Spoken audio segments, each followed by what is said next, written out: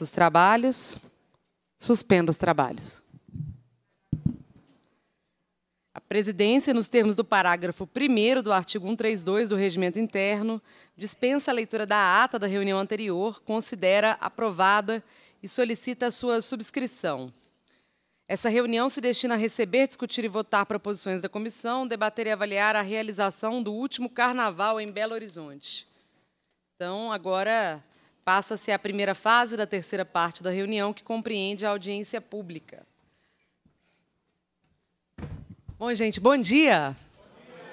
Agora sim, fizemos as formalidades aqui, mas acho que começamos com esse caloroso bom dia, antes ainda de finalizar o mês de fevereiro, para a gente poder discutir e avaliar os diferentes aspectos do Carnaval de Belo Horizonte, que superou eh, as expectativas, enquanto um carnaval muito numeroso, com muito trabalho, muita construção coletiva.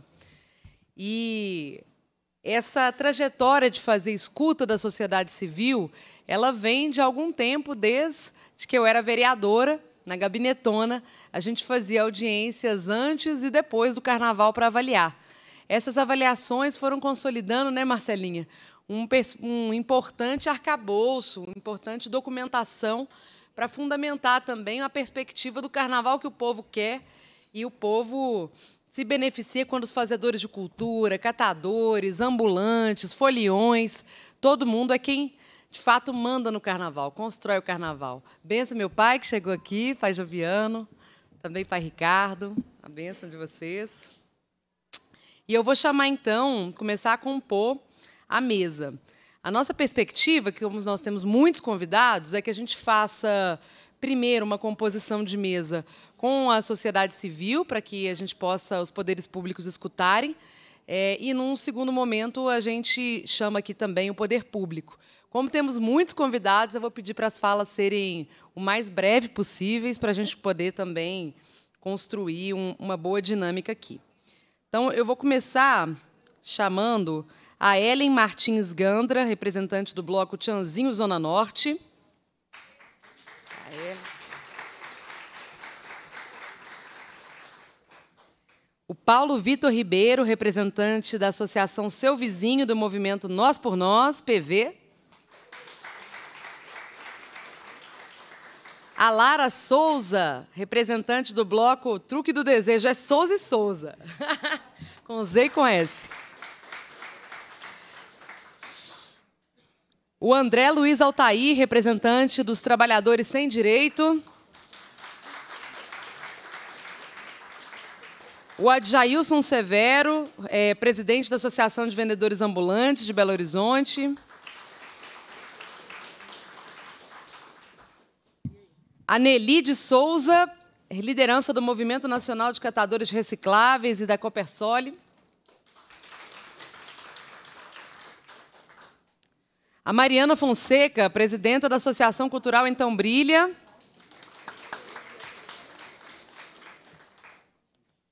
Temos ainda lugares? Como é que nós estamos?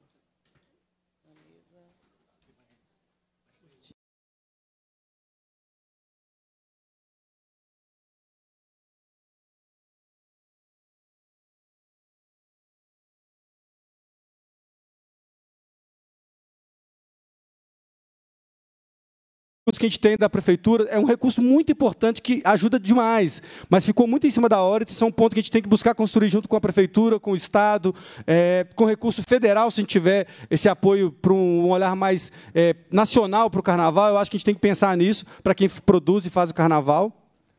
A gente também tem que entender que teve uma conversa com a polícia é, pela primeira vez que eu participo, né, assim, tem mais de 10 anos, mas do jeito que foi, a polícia convidando, foi importante essa conversa. A Truck está aqui representada, pode falar melhor do que passou. O pessoal do Orissama pode falar melhor do que passou também na sexta-feira à noite.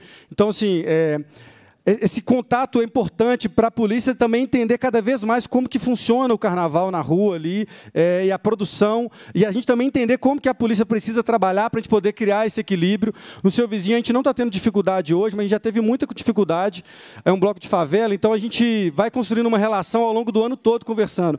Mas que bom seria se todos os blocos tivessem a mesma tratativa, mas na favela, na periferia, geralmente é mais truculento. Então a gente precisa ter uma conversa para além do, do, do, caminho legal, que é um caminho mais assim, é de lá reunir, e graças a Deus está dando certo, mas talvez outros blocos estão passando por questões muito complicadas. Então é importante uma, é uma, um olhar mais humano da, da polícia, também uma atuação mais presente.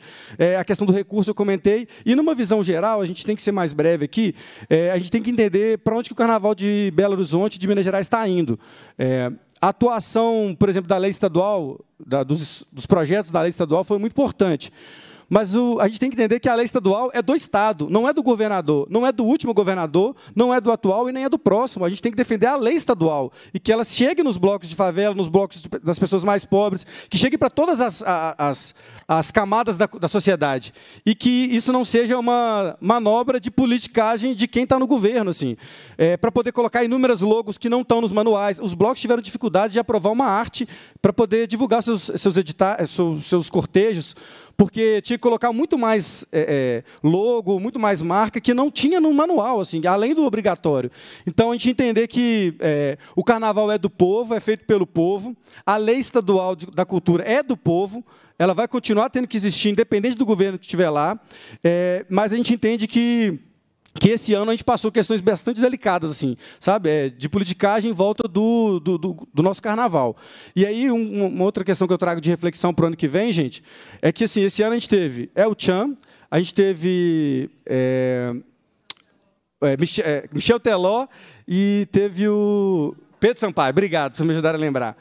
Onde que vão estar os blocos que começaram a construir o Carnaval de Belo Horizonte daqui a dois, três anos? Se, por exemplo, quero muito que a Ivete venha aqui, BH, outras cantoras, sabe assim. Mas imagine se a Ivete Sangalo chegar no dia do bloco de nós, né, nós que estamos aqui, e quiser colocar o bloco no mesmo lugar, no mesmo horário, na mesma via. Nós vamos ter peito para poder combater isso e manter? Então é importante a gente pensar numa construção de um carnaval que valoriza a, a, a produção cultural local, que tenha recurso, porque vários blocos não têm sede, não tem lugar para ensaiar. A gente não está conseguindo produzir música eh, autoral. Se a gente não tiver a produção da nossa própria música, galera, nós vamos ficar sempre tocando cover, sempre fazendo música dos outros, entendeu? Assim, a gente vai ficar replicando o que da, vem da Bahia, o que vem do Rio, o que vem de São Paulo. E o dia que esses artistas grandes chegarem na cidade, dificilmente nós, blocos pequenos aqui, vamos conseguir é, é, manter a nossa essência. Então, assim, é, fica uma reflexão também da gente pensar recurso para poder manter o projeto ao longo do ano todo, com sede, com estúdio, com remuneração da, da equipe profissional, com produção cultural local, com produção de músicas locais. E acho que vários outros assuntos vão ser trazidos para as outras pessoas. Agradeço aí é, a oportunidade, não vou me delongar mais não. Maravilha. Maravilha, PV dizer que o seu vizinho esse ano foi maravilhoso. Ter começado com o cortejo do boi, com o canto das vizinhas, para encerrar ali depois também com muito funk da Carol, do Jonga. Eu acho que traz a centralidade da favela para poder pensar a política do Carnaval de Belo Horizonte. Foi muito lindo perceber a trajetória do seu vizinho. Eu que vou lá desde o início, quando a gente tinha pouquinha gente no cortejo, até ver aquelas milhares de pessoas. É, e o tema esse ano a terra da... E o tema esse ano, gente, só um comentário, assim, mais trazendo assim, que o carnaval vai muito além da, da, da festa, né? É uma, um trabalho político de conscientização, de formação. O tema nosso esse ano foi é, meio ambiente, com o título A Terra Dá, a Terra Quer, em homenagem ao Nego Bispo, que ancestralizou no passado. Então a gente está sempre discutindo na favela nosso papel enquanto cidadãos, cidadãs nessa cidade, e uma construção que vai muito além da festa. Está aqui a nossa camisa desse ano. É a Terra Dá, a Terra Quer. Salve Nego Bispo. Salve! Salve, Nego Bispo! Salve, seu vizinho! Gente, chegou aqui, é maravilhosa, deputada Macaé Evaristo, minha colega. Já vou passar para você fazer uma saudação. Bom dia, gente. Quero cumprimentar aqui a primeira deputada Bela por essa iniciativa, dessa audiência pública. Cumprimentar aqui todo mundo na mesa. Vou cumprimentar em nome da Lara, dos blocos organizado pelas mulheres. é, dizer que é muito importante né, é, esse processo da gente avaliar o carnaval. E eu falei, Bela, eu vim aqui só dar um pitaco e saindo rapidinho, porque eu tinha um compromisso de fazer uma aula sobre empoderamento das mulheres negras. Você sabe que março começa amanhã, mas a agenda de luta das mulheres é permanente. Então, eu tenho esse compromisso, mas eu não queria deixar de passar aqui e conversar um pouco com vocês. E, especialmente, é, eu quero falar aqui, chamar atenção para os blocos afro. Né? Peço aqui a benção Pai Ricardo, que está ali. É, para falar um pouco sobre isso. Né? Uma, uma demanda que é específica dos blocos afro, mas que tem muito a ver com os blocos da periferia de Belo Horizonte. Né? Primeiro, uma concepção de que o carnaval ele é somente né, nessa data, vamos dizer assim, que é a culminância, né, que é a data da celebração do bloco na rua. Eu acho que, primeiro, para a gente, o carnaval ele é um processo. Né, e ele é o ano todo. Então, a própria ideia de financiamento do carnaval, como ela é feita, ela não dialoga com as demandas efetivas dos nossos blocos ao longo do ano. Porque tudo no carnaval, né? Desde a da, da música, da percussão, é, a confecção das nossas roupas, das nossas é, vestimentas, os ornamentos, tudo isso é um processo, e é um processo educativo que ocorre ao longo do ano e que acontece no conjunto da comunidade, porque a gente não faz carnaval sozinho. Né? A gente faz o carnaval num ambiente muito potente, é, educativo, de troca, e as pessoas se dedicam ao longo de todo o ano. Né? Então, a gente precisa pensar sobre isso, e pensando especificamente os blocos árvores, o que aconteceu esse ano. A Praça da Estação fechada, né? E o candando ele foi direcionado para o Parque Municipal. É, pouquíssima visibilidade. Né? A ideia não é essa, a ideia é que a gente possa ocupar as ruas da cidade. E é, todo debate, financiamento, nada é conversado. Né? Então, tem uma grande queixa da falta de diálogo com os blocos árvores no Carnaval de Belo Horizonte. E, por fim, eu que vim aqui fazer uma proposta bem específica, né? É, um pedido de providência, uma indicação, enfim, tanto para a Prefeitura de Belo Horizonte, para Belo Tour, quanto para a Secretaria de Estado da Cultura. Né? Porque, para nós, o Candando ele precisa ser uma política pública de apoio aos blocos afros, com dotação orçamentária própria e um suporte permanente, que seja ao longo de todo o ano. Porque, se efetivamente nós queremos né, e concebemos a importância do carnaval em Belo Horizonte, isso precisa ser tratado como uma política pública. E aí não dá para as pessoas ficarem todo ano no esforço por sua própria conta. Né? É, as pessoas, gente, têm que trabalham, né? porque elas precisam viver, precisam sobreviver. E aí, tudo isso é feito né? numa sobrecarga de trabalho, porque as pessoas acreditam mas nós precisamos avançar para que se tenha um financiamento para os blocos dentro dessa concepção, não específico para o mês de fevereiro ou março, quando acontece o carnaval, mas ao longo de todo o ano. Então, o recado é breve, eu acho que nós precisamos trabalhar nesse sentido, porque é isso. Acabou o carnaval, nós já estamos aqui, já estamos começando a pensar o carnaval do próximo ano e trabalhando para que ele aconteça. Então, nada mais justo que essa política tenha financiamento. E o diálogo com os fazedores do carnaval, ele é fundamental, porque nós não podemos ser refém das empresas que querem lucrar com o marketing do carnaval. Né? Essa não pode ser a nossa prioridade. Isso é nefasto para o nosso povo. Então, muito rapidamente, esse, esse recado e deixar aqui um axé. Tamo junto e parabéns, Bela, por essa iniciativa.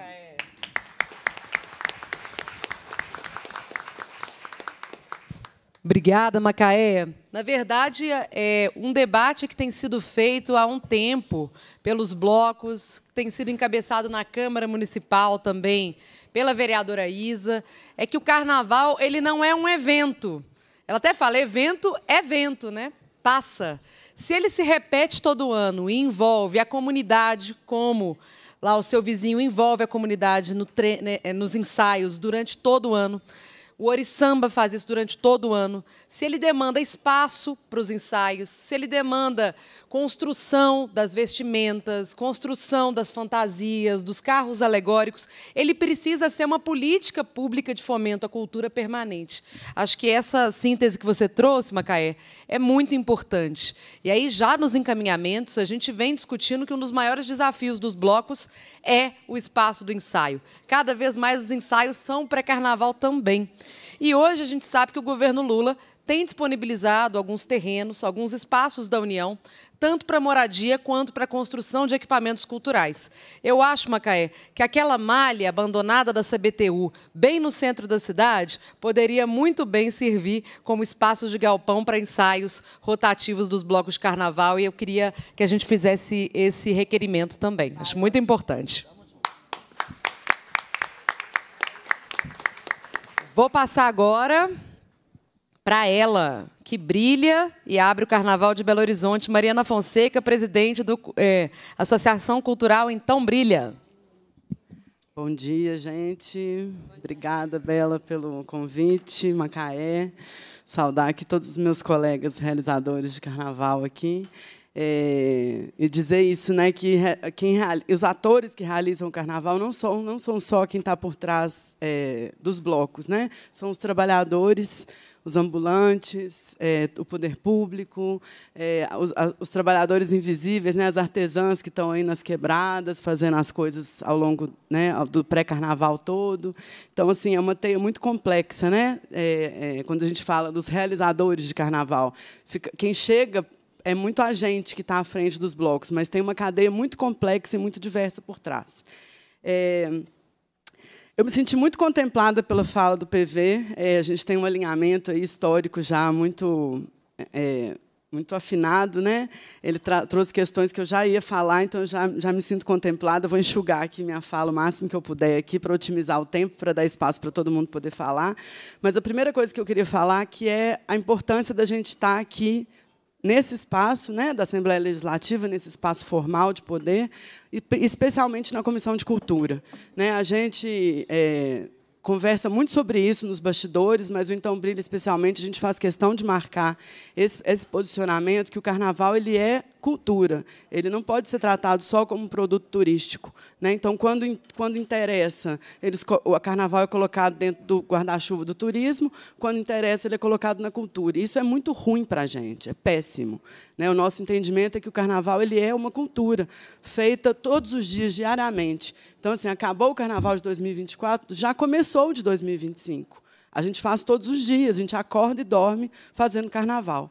Né? E, e o impacto que isso tem na economia, na, na, na criação autoral, artística da cidade. Isso é cultura, não é turismo. Né? Aí, quando sai o balanço lá do, dos recursos do carnaval, só aparece os dados de lucro de hotel, de bar, restaurante. Isso é muito pouco, gente. Isso é, isso é só o impacto turístico que né, que está tendo na economia. Mas e a cultura? O que está sendo deixado de legado para a cidade? Né, o que está sendo construído de memória cultural para essa cidade? Isso não é mensurado. Né? Fora as outras economias invisíveis, que são as artesãs das, das periferias, das quebradas, o, o, o, vendedor lá de tecido da lojinha de bairro. Isso tudo não é mensurado assim. Isso acontece. O carnaval ele gera um impacto na economia que ele é mensurado de forma precária só no período do carnaval mas ele tem um potencial enorme para movimentar a economia ao longo do ano inteiro de forma muito mais capilarizada mais complexa e mais diversa então tem um potencial aí econômico especialmente cultural, que precisa ser tratado como um produto cultural, né? como uma construção cultural, e não só como um produto turístico que é vendido aí, né, no metrô do Rio de Janeiro, no aeroporto de São Paulo. Né? Isso incomoda muito a gente, a gente ser vendido como um produto turístico. Dá, dá uma vergonha alheia, assim, é um constrangimento mesmo. Assim, né? Então, agradecer à Bela por ter esse entendimento de que carnaval é cultura e dar esse espaço dentro da Comissão de Cultura aqui para a gente abrir esse debate. Porque é, é é assim que a gente entende que o carnaval ele é uma cultura permanente que exige investimento o ano inteiro para a gente poder, sim, construir, parar de cantar só a música dos outros, para a gente poder ter é, tempo e, e, criatividade para poder compor canções, para a gente ter estrutura para poder ter sede própria, sabe, para a gente poder é, ter uma produção cultural de qualidade e que vai, de fato, tornar o Carnaval de BH diferente, porque esse modelo de ficar cantando música cover, daqui a dois, três anos, talvez ele se esvazia.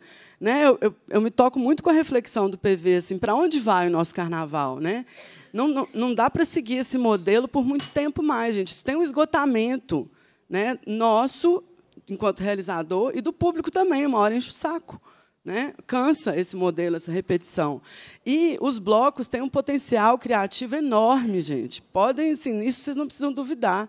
Isso eu falo assim, sem, sem alinhar internamente com os outros blocos. Eu tenho segurança de dizer do potencial criativo que os blocos têm, né? de invenção do modelo, do formato. Quando a gente fala em criatividade no carnaval, não é só composição de música autoral. Claro que é isso também, mas é ritmos novos, é um jeito novo de inserir elementos cênicos, pirotécnicos, é, da, da, da, riqueza que tem o, o, teatro de BH, sabe, de incorporar elementos do teatro, do circo, né, de outras artes, a transversalidade que o carnaval é, permite, né? E ele muitas vezes a gente fica subutilizado porque não tem, porque às vezes o recurso chega na véspera do cortejo, uma semana antes do cortejo, e aí você fica noite sem dormir, sem saber como que você vai realizar um cortejo, como é que você vai conseguir criar dessa forma, sendo que você está preocupado com o fornecedor que você não conseguiu pagar para garantir que você vai ter um som de qualidade.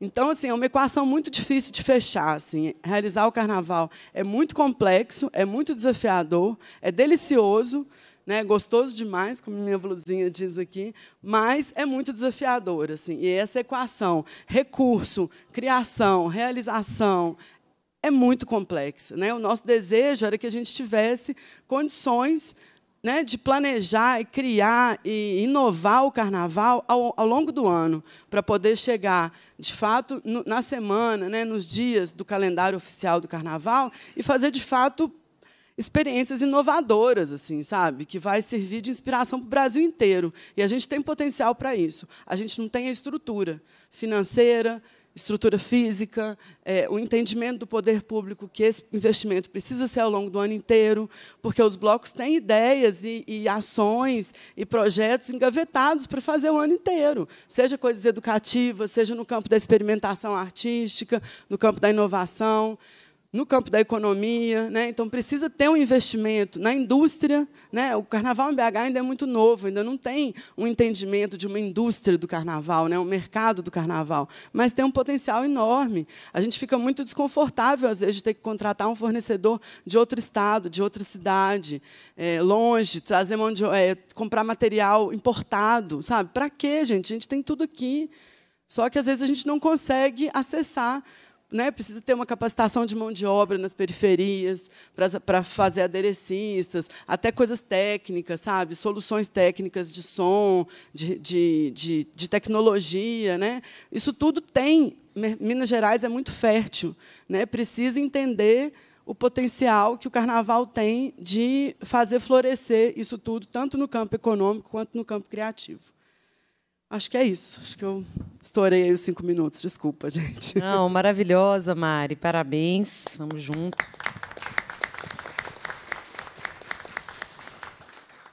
Passou muito não, foi falou temas importantíssimos aqui. E eu concordo. Para o Carnaval de Belo Horizonte não ser um fenômeno passageiro e ser, sim, um sucesso permanente, crescente, ele precisa virar uma política pública que garanta essa sustentação de pensar a produção de fantasias próprias, músicas próprias, ensaios enraizados na comunidade. E isso que você e PV trazem é o fundamental para que a gente tenha, no próximo ano, o mesmo número ou até mais de foliões e que isso se mantenha pelos próximos 10, 20 anos, quem sabe até mais. Né? Vou passar, antes de passar para a próxima convidada, só porque a Vilma Esteves chegou e você vai para esse primeiro bloco. Vilma é da Ecopersol Leste, também está representando aqui o movimento de catadores, o Recicla Belu. Vamos lá. Enquanto a Vilma chega, Eu vou passar aqui para Lara, Lara, representante do Truque do Desejo. Oi. Oi, gente. Bom dia a todo mundo que está aqui. Obrigada, Bela, pelo convite. Saldo também toda a companheirada organizadora de bloco de carnaval que está aqui hoje. Cumprimento também os órgãos públicos é, que também foram convidados para essa reunião, para esse encontro, nesse debate para ontem sobre cultura e carnaval na cidade. É, carnaval de BH eu não, eu não vou fazer uma retomada, porque acho também que é uma história que muita gente aqui, né, a gente está careca de saber como foi que o carnaval ele ressurge lá em 2000, 2009, né, que vem de uma manifestação popular e tal, a sociedade civil é, se levantando contra, enfim, decisões que não têm nada a ver com o desejo do povo. É, e Truque do Desejo, que é o bloco que eu, que eu, ajudo, né, que eu organizo, que eu sou uma das fundadoras. Truque do Desejo nasceu em 2018. Deixa eu só ajustar isso aqui. Truque do Desejo nasceu em 2018 porque a gente sentiu muito falta de um bloco na cidade que dialogasse um pouco mais com nossa com a nossa vivência, com a nossa experiência enquanto mulheres lésbicas, bissexuais. Truck do Desejo, eu posso brincar que é uma girininha, né? A gente está aí com apenas seis anos. Esse ano foi o nosso quarto cortejo, em razão de pandemia. E, assim como os outros blocos, é, a gente faz uma é, é, um, é uma organização né, de grande relevância social pelo trabalho que faz na cidade de formação artística, formação política, numa tentativa criativa mesmo de fazer um levante social, da gente se organizar enquanto cidadãos, cidadãs e ocupar a cidade com outro modo de fazer política, que é algo que acontece, sim, com toda a gente que ocupa as ruas da cidade no carnaval, né, nesse período de carnaval da cidade, e em outras épocas também, porque o povo de BH é um povo muito criativo e de luta, que oportunidades que aparecem não dá mole e ali se apresenta, né, enquanto é, é, trabalhador, seja na cultura, seja né, enquanto ambulantes, seja ali também é, tendo cuidado com o meio ambiente, fazendo um trabalho de reciclagem, que é toda a gente que está aqui hoje. É, e falando nisso, esse modo de acontecer o carnaval na cidade dialoga muito com o nosso tema desse ano, que foi A Gente é Multidão. Claro que, por sermos um bloco LBPT, que somos lésbicas, bissexuais, pansexuais, pessoas trans, travestis e pessoas não binárias. Eu faço questão de mencionar o que cada letra significa, porque já foi o tempo, né, da gente brincar, né, tentar fazer deboche com esse com essa comunidade e precisamos é, nos atentar a respeitar toda a gente que é que faz e né que faz o carnaval e que é um cidadão de direito bem como todos somos. É, então toda essa gente multidão que faz o carnaval na cidade foi o nosso tema de cortejo desse ano. É, numa tentativa vou aqui tentar fazer uma metáfora digamos que é toda gente que não aparece no carnaval, sabe? E isso dialogando também com muitos pontos que as pessoas foliãs, os órgãos, as pessoas não percebem porque não acompanham como a coisa acontece. Eu falando da Truck do Desejo, a gente começa a se organizar, a montar bateria, enfim, todo o trabalho de formação desde é, uma, por volta de oito, oito ou seis meses anteriores ao Carnaval. Então, nosso cortejo ano que vem, se tudo der certo e dará, será em 4 de março. Então, por volta de julho, vocês podem ter certeza que a gente já vai, já vai estar com oficinas acontecendo.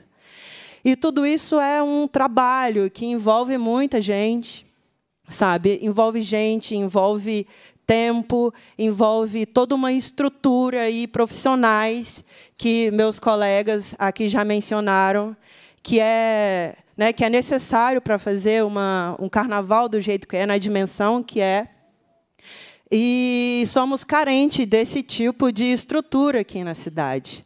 Né? Então, eu fico muito contente quando a Bela, é, quando a Bela né, tem essa disposição de fazer a luta para espaços de ensaios e blocos, porque é muito oneroso, sabe? E falando em oneroso, assim, é, é, né, a gente movimenta, temos parceiros, mas o carnaval, para acontecer, ele precisa da contribuição das pessoas, de muita gente que gosta dos blocos, contribui de várias maneiras, mas isso não exime o poder público também de se responsabilizar dessa estrutura, porque quando chega fevereiro, é, é outdoor em outros, em outros estados, sabe? É propaganda no intervalo do Big Brother, no intervalo da novela, sabe? E a gente sabe que publicidade tem valores altíssimos e perguntamos, né, por que não investir no carnaval ao invés de, né, de certo modo, cooptar o carnaval para se, para se fazer publicizar, sabe?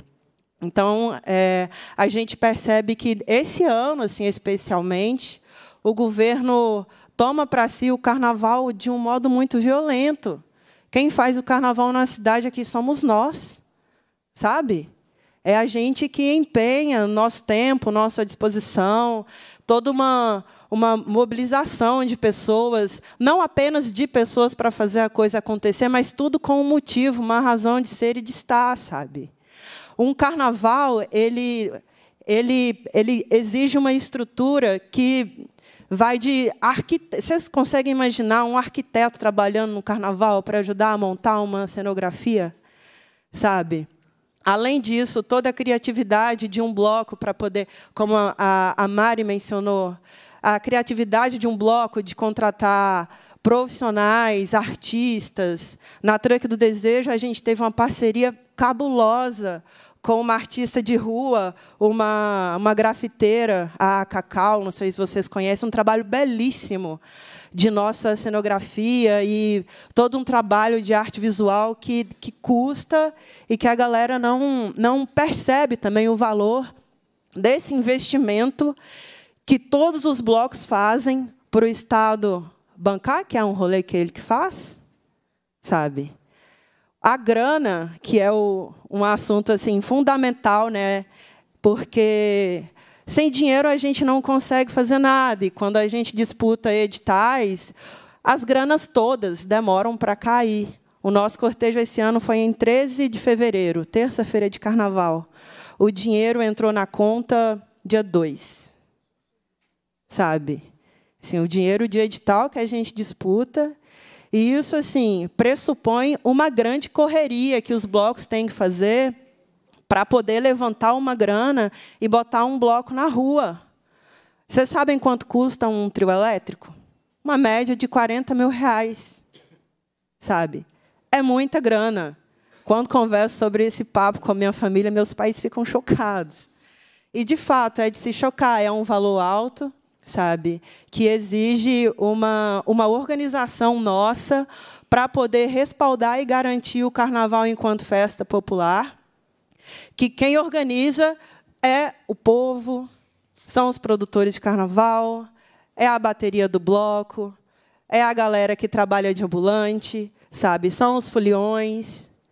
Então, assim, é, já vou já vou terminando minha fala e agradecendo demais a Bela por essa iniciativa. Acho que é um importante momento assim da gente debater esse assunto. Estamos aqui debatendo esse papo, mas todo mundo aqui já está pensando no cortejo do ano que vem, sem dúvida, porque é uma, uma preparação é uma preparação que já exige um trabalho anterior, porque, sabe, como já mencionei, A gente já precisa fazer o movimento de algum modo a grana aparecer, senão se torna inviável. Né? Dinheiro é importante, mas também uma garantia, um respaldo político, né? um, uma, um, um, suporte financeiro que garanta que os blocos continuem existindo na cidade com segurança, sabe? Uma garantia de que ele vai acontecer sem passar por tanto aperto, sabe? É fundamental. Os blocos gastam, gastam não investem, né? Porque é um investimento que a gente faz com muito orgulho, porque o que a gente coloca na rua é um trem muito bonito. E, modéstia à parte, o cortejo da Treco Desejo esse ano foi um dos trens mais lindos que eu já vi na minha vida. É, espero que ano que vem vocês que estão aqui presentes consigam colar. É, o investimento que a gente faz fica aí em torno de 30 mil reais, 300 mil reais, desculpe. Tem reportagem falando sobre isso. Reportagem que conversou com blocos e chegou aí nessa média de investimento que eles fazem para colocar um bloco na rua. 300 mil reais. Tá? Então, muito obrigada, Bela, e vamos continuar com o debate. Obrigado pelo convite. Maravilha, Lara. É importante isso ser dito e quantificado, né? A Truque do Desejo foi linda, foi um trem lindo e um caminhão maravilhoso esse ano. E eu tenho um orgulho, Lara, lembrei agora, quando eu ganhei a minha primeira blusa do Truque do Desejo, antes do primeiro desfile, né? Vocês me encontraram na porta do Centro de Referência LGBT. E ali vocês contaram, Bela, a gente está aqui querendo fazer um bloco de carnaval. E me deram a blusa vermelha do caminhão. E depois disso, a Truque do Desejo se transformou num fenômeno mesmo de acolhimento no Brasil de mulheres lésbicas, bissexuais, travestis, transexuais, não binárias, pansexuais. Enfim, com muito, muito recado do que a gente quer e da forma como a gente quer não só curtir o carnaval, mas existir na cidade durante o ano inteiro, né?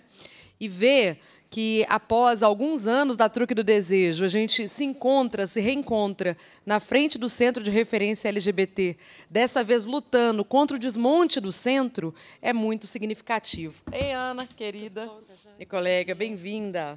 Então, eu acho que é, é sobre isso, né? A nossa luta é o ano inteiro e a Truque, como todos os blocos, não são apenas blocos de carnaval que saem num dia, são um movimento político, um movimento cultural que se estende por todo o ano. Cumprimentar aqui também a Fran Glanglan, do bloco Eleganza, que foi muito maravilhoso esse ano também. Muita força por estar aqui também. Pessoal, eu vou passar agora para a Erlen Martins, representante do bloco Tianzinho Zona Norte. Bom dia a todos, todas e todos. Bom, é, quero cumprimentar a mesa, o nome da Bela e da minha companheira aqui, a Lara. É, as falas contemplaram bastante já toda a reflexão do Tianzinho da Zona Norte. Eu vou ser mais breve e sucinta, é, mas a reflexão que a gente vem discutindo nos bastidores é sobre a preocupação da centralização do Carnaval de Belo Horizonte, né? O Tianzinho da Zona Norte nasceu em 2012, é, fazendo carnaval de periferia mesmo. Eu sou moradora do bairro Eteuvina Carneiro, é, fui estudante da UFMG, e a gente começou a fazer carnaval de rua, com panela, com instrumentos que a gente tinha em casa mesmo. E daí, é, esse ano, a proposta da Via Sonoriza foi incrível, porque conseguiu é, consertar alguns grandes problemas que a gente tinha né, dos, dos blocos de carnaval, principalmente a questão é, do som. Porém, fiquei bastante preocupada, assim, e, e a gente reflete bastante sobre isso né, nas nossas conversas de pós-carnaval, sobre essa questão de centralizar o Carnaval de Belo Horizonte. Né? O Carnaval de Belo Horizonte nasceu de grandes lutas né, da, da população, de nós, jovens e adultos, e essa questão é realmente assim preocupante. Bom, é, a Bela foi uma das defensoras aí do metrô não fechar. O Tianzinho da Zona Norte sempre pega metrô. Não sei se vocês acompanham o bloco há mais tempo. Esse ano, a centralização impediu que a gente pegasse o metrô. A gente brinca com isso, mas a gente conseguiu pegar outros transportes para poder curtir o bloco, né? Mas de fato é uma reflexão que a gente precisa fazer. É, a gente teve muitos problemas de ser contemplados pelos editais, quase que a gente não conseguiu os financiamentos necessários para colocar o bloco na rua.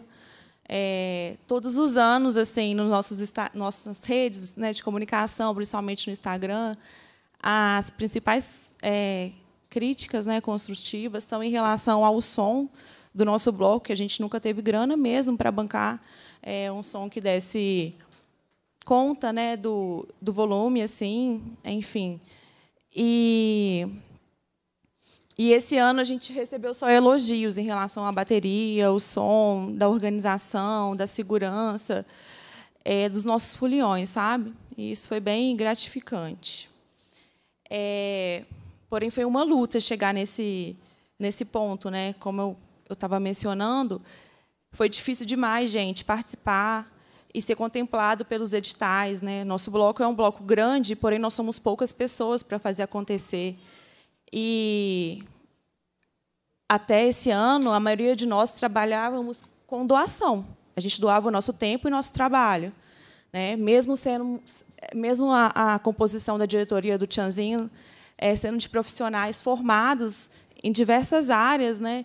Na área da música, de artes, enfim, profissionais altamente capacitados e que não é que exerciam um trabalho duro que demanda muito tempo e a gente precisava de estudar sobre coisas que a gente não conhece. Eu sou enfermeira, eu precisei estudar sobre som, sobre questões que eu de segurança que eu nunca nem tinha ouvido falar para poder contemplar os editais e no tempo que e no tempo muito curto, né? E daí hum, a gente existe uma preocupação muito grande, né, porque a gente a gente se comunica, né, entre a comunidade do Carnaval de Belo Horizonte, é, o quão difícil foi conseguir ser contemplado e o quão triste foi ver os nossos amigos que estão com a gente lá desde 2013, 2012, que não foram contemplados e que estavam com a gente em, em todos os desfiles, entendeu? Então era um mix de muita alegria e emoção e mesmo e ao mesmo tempo assim, poxa, tem que ser para todo mundo.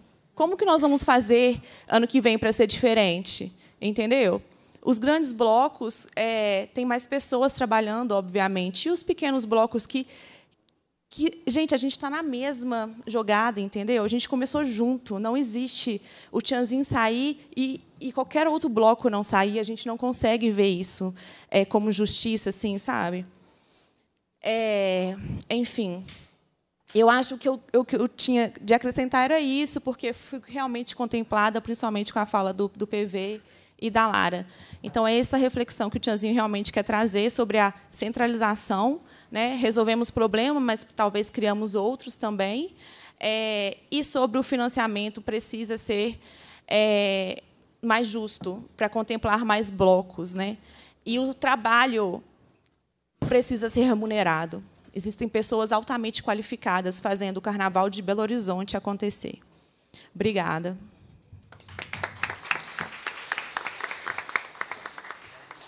Importantíssimo, Erlen. O Chanzinho sempre debateu a descentralização do carnaval, trazendo essa força da, das temáticas da Zona Norte e também da mobilidade urbana. E eu acho que um dos maiores problemas que a gente visualiza para o futuro do carnaval é se a concentração de orçamento e investimento nos blocos for para avenidas sonorizadas, e nada contra elas, acho que é muito importante, mas se esse afunilamento acontece, é um passo para depois a gente ver Belo Horizonte ser fechado em camarotes e um modelo de Salvador, que, pelo que eu converso com os blocos, não é o desejo de Belo Horizonte, não é o desejo da cultura dos blocos aqui. Importantíssima é, sua contribuição. Gente, vou passar agora para escutar, vou alternar um pouquinho entre blocos e vou passar aqui para Nelly de Souza Silva Medeiros, liderança do Movimento Nacional de Catadores, para contar um pouquinho, junto com a Vilma Estevam, da Copersol Leste, sobre é, a luta pelo lugar da reciclagem nesse carnaval. E eu tenho muita, muita honra, muita alegria de fazer parte dessa luta já há alguns anos, junto com vocês. Então, bom dia a todos, todas e todes, né? É, eu sou Nelly, catadora de materiais recicláveis e represento o Movimento Nacional dos Catadores. É um prazer para mim muito grande estar aqui nessa casa de novo. Se quiser, viu? E dizer para vocês que é esse o nosso espaço também, né? E eu acho que é aqui que junto a gente vai conseguir alavancar todo esse processo que é o carnaval na nossa vida. Nós montamos uma apresentação é, para a gente poder falar para vocês um pouquinho rapidamente, até vocês conhecerem o que é o Recicla Belu. É, Vilma, se apresente, por favor. Bom dia a todos e a todas.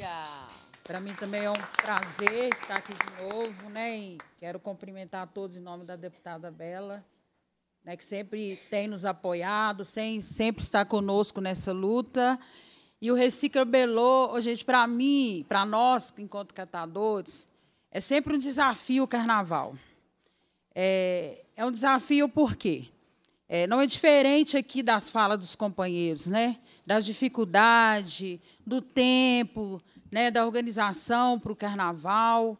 É, não é diferente. Então, assim, sempre é um desafio para nós catadores. Desafio porque a gente precisa ainda que, que as pessoas elas é, é, em sua mente da importância que é a destinação do resíduo que elas geram não, né, no, durante os eventos do carnaval. E a gente fica preocupado porque ainda não está enraizado ainda, né? É, os catadores. Então a gente precisa de trazer um evento como esse, um, um, um como esse, para dar visibilidade do trabalho dos catadores, da importância que é é o trabalho dos catadores. Não é só a catação desse material que gera no carnaval. A gente também faz um trabalho educativo. Né? A gente tenta passar para as pessoas, para os foliões, da importância que é as pessoas poderem dar a destinação correta daquilo que gera, né? daquele resíduo que gera durante o evento do carnaval. Então, é, é, é essa a importância do trabalho dos catadores. A gente vai mostrar um pouco né, do, do Recicla Belô, que não foi fácil é, a gente implantar, trazer esse projeto. Foram quatro anos de luta, né, da gente discutindo é, esse reci, o Recicla Belô. E, de fato, esse ano a gente conseguiu, né, com muita dificuldade, com muito esforço, né, é, até por parte da deputada, né, porque teve momentos que a gente teve que acionar a deputada, acionar o, o gabinete da CIDA, para que as coisas realmente acontecessem de fato que realmente a prefeitura ela nos ouvisse, nos atendesse, porque até então a gente não tinha nenhuma reunião ainda, né? Porque é aquilo que, gente, que os companheiros falou, isso precisa estar sendo discutido, é, não, não só nos últimos momentos para iniciar o carnaval, isso precisa ser discutido o ano todo.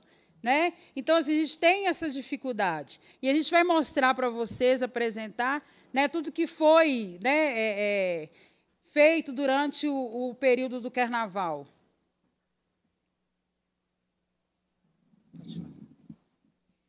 Então, e aí a gente conseguiu, junto com o Ministério Público, né, um recurso, é, junto com a Copasa, para que a gente pudesse concretizar esse projeto que é de catador para catador. Nós fizemos um, um cadastro dos catadores autônomos tanto sócio cooperado, porque hoje a gente existe em Belo Horizonte seis associações cooperativas, mas para além dessas associações e cooperativas, a gente também cadastrou os catadores autônomos. E aí a gente conseguiu cadastrar 334 catadores, né? É, para que a gente conseguisse fazer esse trabalho. Nós tivemos também a distribuição de um kit. Esse kit foi fundamental para esse trabalho, porque foi o que deu visibilidade. Eu acho que vocês devem ter visto aí, junto nos blocos, dentro das cordas, que tinha muitas né, pessoas com essa camisa verde. Era onde a gente fazia, estava fazendo o trabalho da coleta. E aí eu queria aproveitar essa oportunidade aqui e pedir também né, aos blocos que, quando for época de carnaval, é, que a gente consiga fazer esse trabalho junto, porque a gente teve alguns companheiros que nos tirávamos, da, que tirava a gente da corda, né? não deixava a gente fazer a coleta. Então, é, dizer que a gente está junto nesse momento, né? não só aqui, mas no momento do carnaval também. E a gente só queria ali fazer o trabalho também da coleta para poder gerar uma renda. Né? E aí, é, a importância desse kit, eu acho que o mais importante nesse kit foi aí o tênis, porque todo o carnaval que a gente trabalhou, 2019, 2020, com outro aporte, 2021, 2022 não teve, 2023 nós trabalhamos de graça, né? porque a gente precisava trabalhar sem recurso, financiamento de ninguém, nenhum a gente teve, mas a gente sempre trabalhou ou de chinelo ou com uma bota muito pesada. Então, esse tênis foi o diferencial. Tanto é que vários catadores vieram, fizeram cadastro com a gente e, no final, nem trabalharam, porque eles só queriam realmente, de fato, o tênis. Né? E, mas isso para a gente foi importante, porque a gente viu a quantidade que a gente tem hoje é, de catador autônomo, de é, pessoas né, morando na rua, de fato. Nós tivemos três grandes centrais, né, que foi uma lá na, na, no Santa Teresa, no centro e na Savassi. Essas três centrais, elas ficaram em locais ruins, sabe? Lugar, local não foi um local bom estratégico para o nosso trabalho. Sem contar que colocou, por exemplo, na área central, eles colocaram lá o, o, os banheiros próximos é, das tendas e os foliões não respeitaram isso. Então, eles mijavam dentro da tenda. Foi uma confusão muito grande que a gente teve dificuldade para sanar. Mas, enfim, a gente conseguiu é, fazer o trabalho. A gente teve aí mais ou menos 100, 130 blocos, né? É, e desses blocos foram poucos os que é, deram e fizeram o reconhecimento desse, desse público né, de catadores fazendo o trabalho dentro dos blocos. Foram quatro dias de carnaval para nós, né? mas a gente sabe que é, foi muito mais que isso, né? e que a gente poderia é, ter tido a oportunidade de fazer o trabalho né? também nos outros dias, e a gente não teve. A importância também, eu acho que vocês devem ter visto na foto aí, de ver que os foliões entregavam né, o material na nossa mão, né, o material reciclado, o, o, a embalagem que ele estava gerando, ele já entregava direto na mão do catador. Então, o próprio Fulhão estava preocupado com a limpeza da nossa cidade. Nós recolhemos, durante o carnaval, né, é, mais de 33 quilos né, de material, 33 mil quilos de materiais.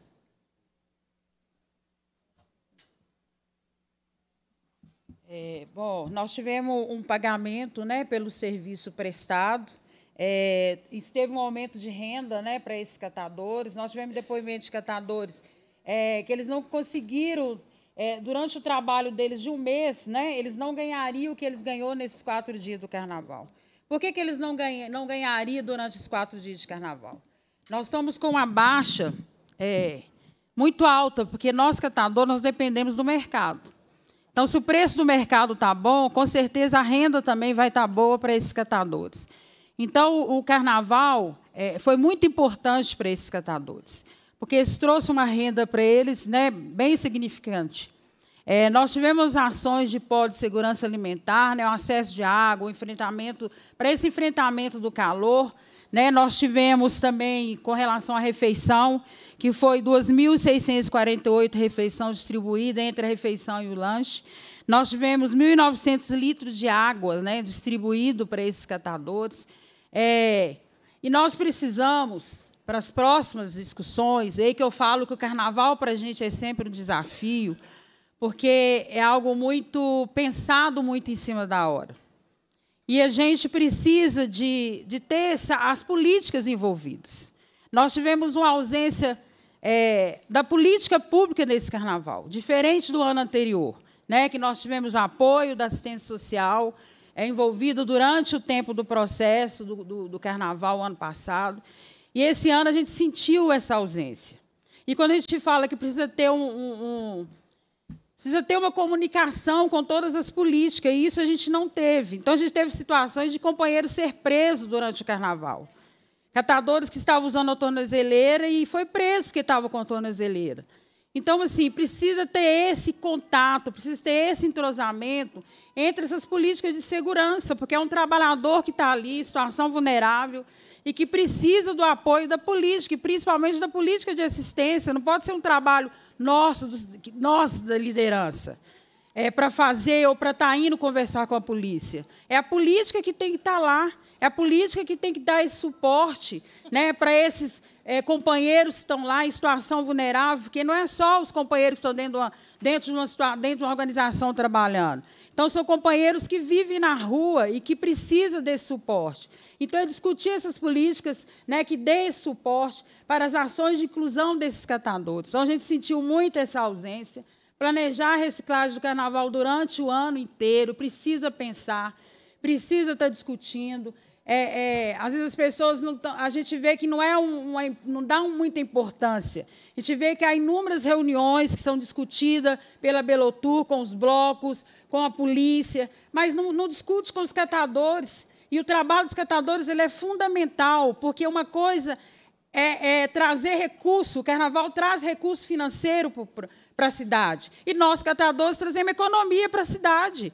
Porque é, é, é, é o reciclável está deixando de ir para o aterro sanitário.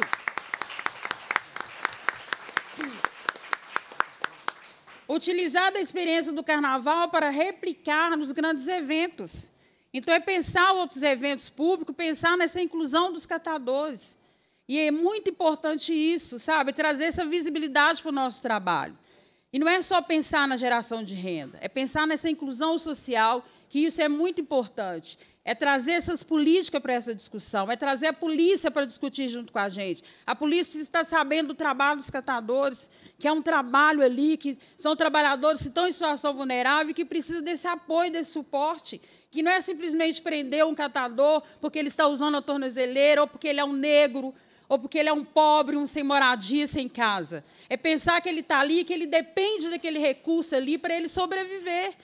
E não é agindo dessa forma. Então, a política precisa entender tudo isso e a, e a assistência social ela precisa dar um acompanhamento, porque é um público da assistência. A gente não pode negar isso.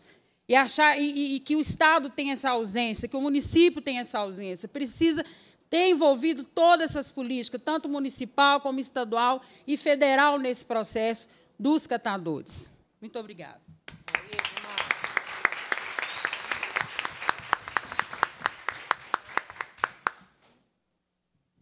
Vou pedir para vocês, e carnaval sem catador é o quê, gente? É lixo. É lixo. Carnaval sem catador é? Lixo. Então vamos de carnaval lixo zero. Viva! Viva! Viva! Viva o ca... projeto Recicla Belô.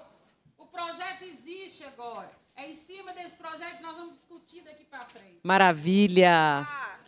Vilma, eu vou fazer aqui uma sugestão também de requerimento, que é o seguinte. É, eu avalio que é muito bom o poder público fazer o financiamento da atividade da reciclagem e nós corremos atrás disso. Colocamos, inclusive, a disponibilidade de emendas parlamentares, caso fosse necessário, e acabamos conseguindo, com a captação de recursos, principalmente do Ministério Público, um financiamento digno para o trabalho dos catadores, que vai ajudar, inclusive, a impulsionar a catação durante o ano inteiro. Mas a gente não pode esquecer da logística reversa os grandes produtores de latinhas, que são as marcas da Ambev, as marcas da Coca-Cola, as marcas das diferentes empresas, precisam entrar no financiamento da catação de reciclagem em grandes eventos.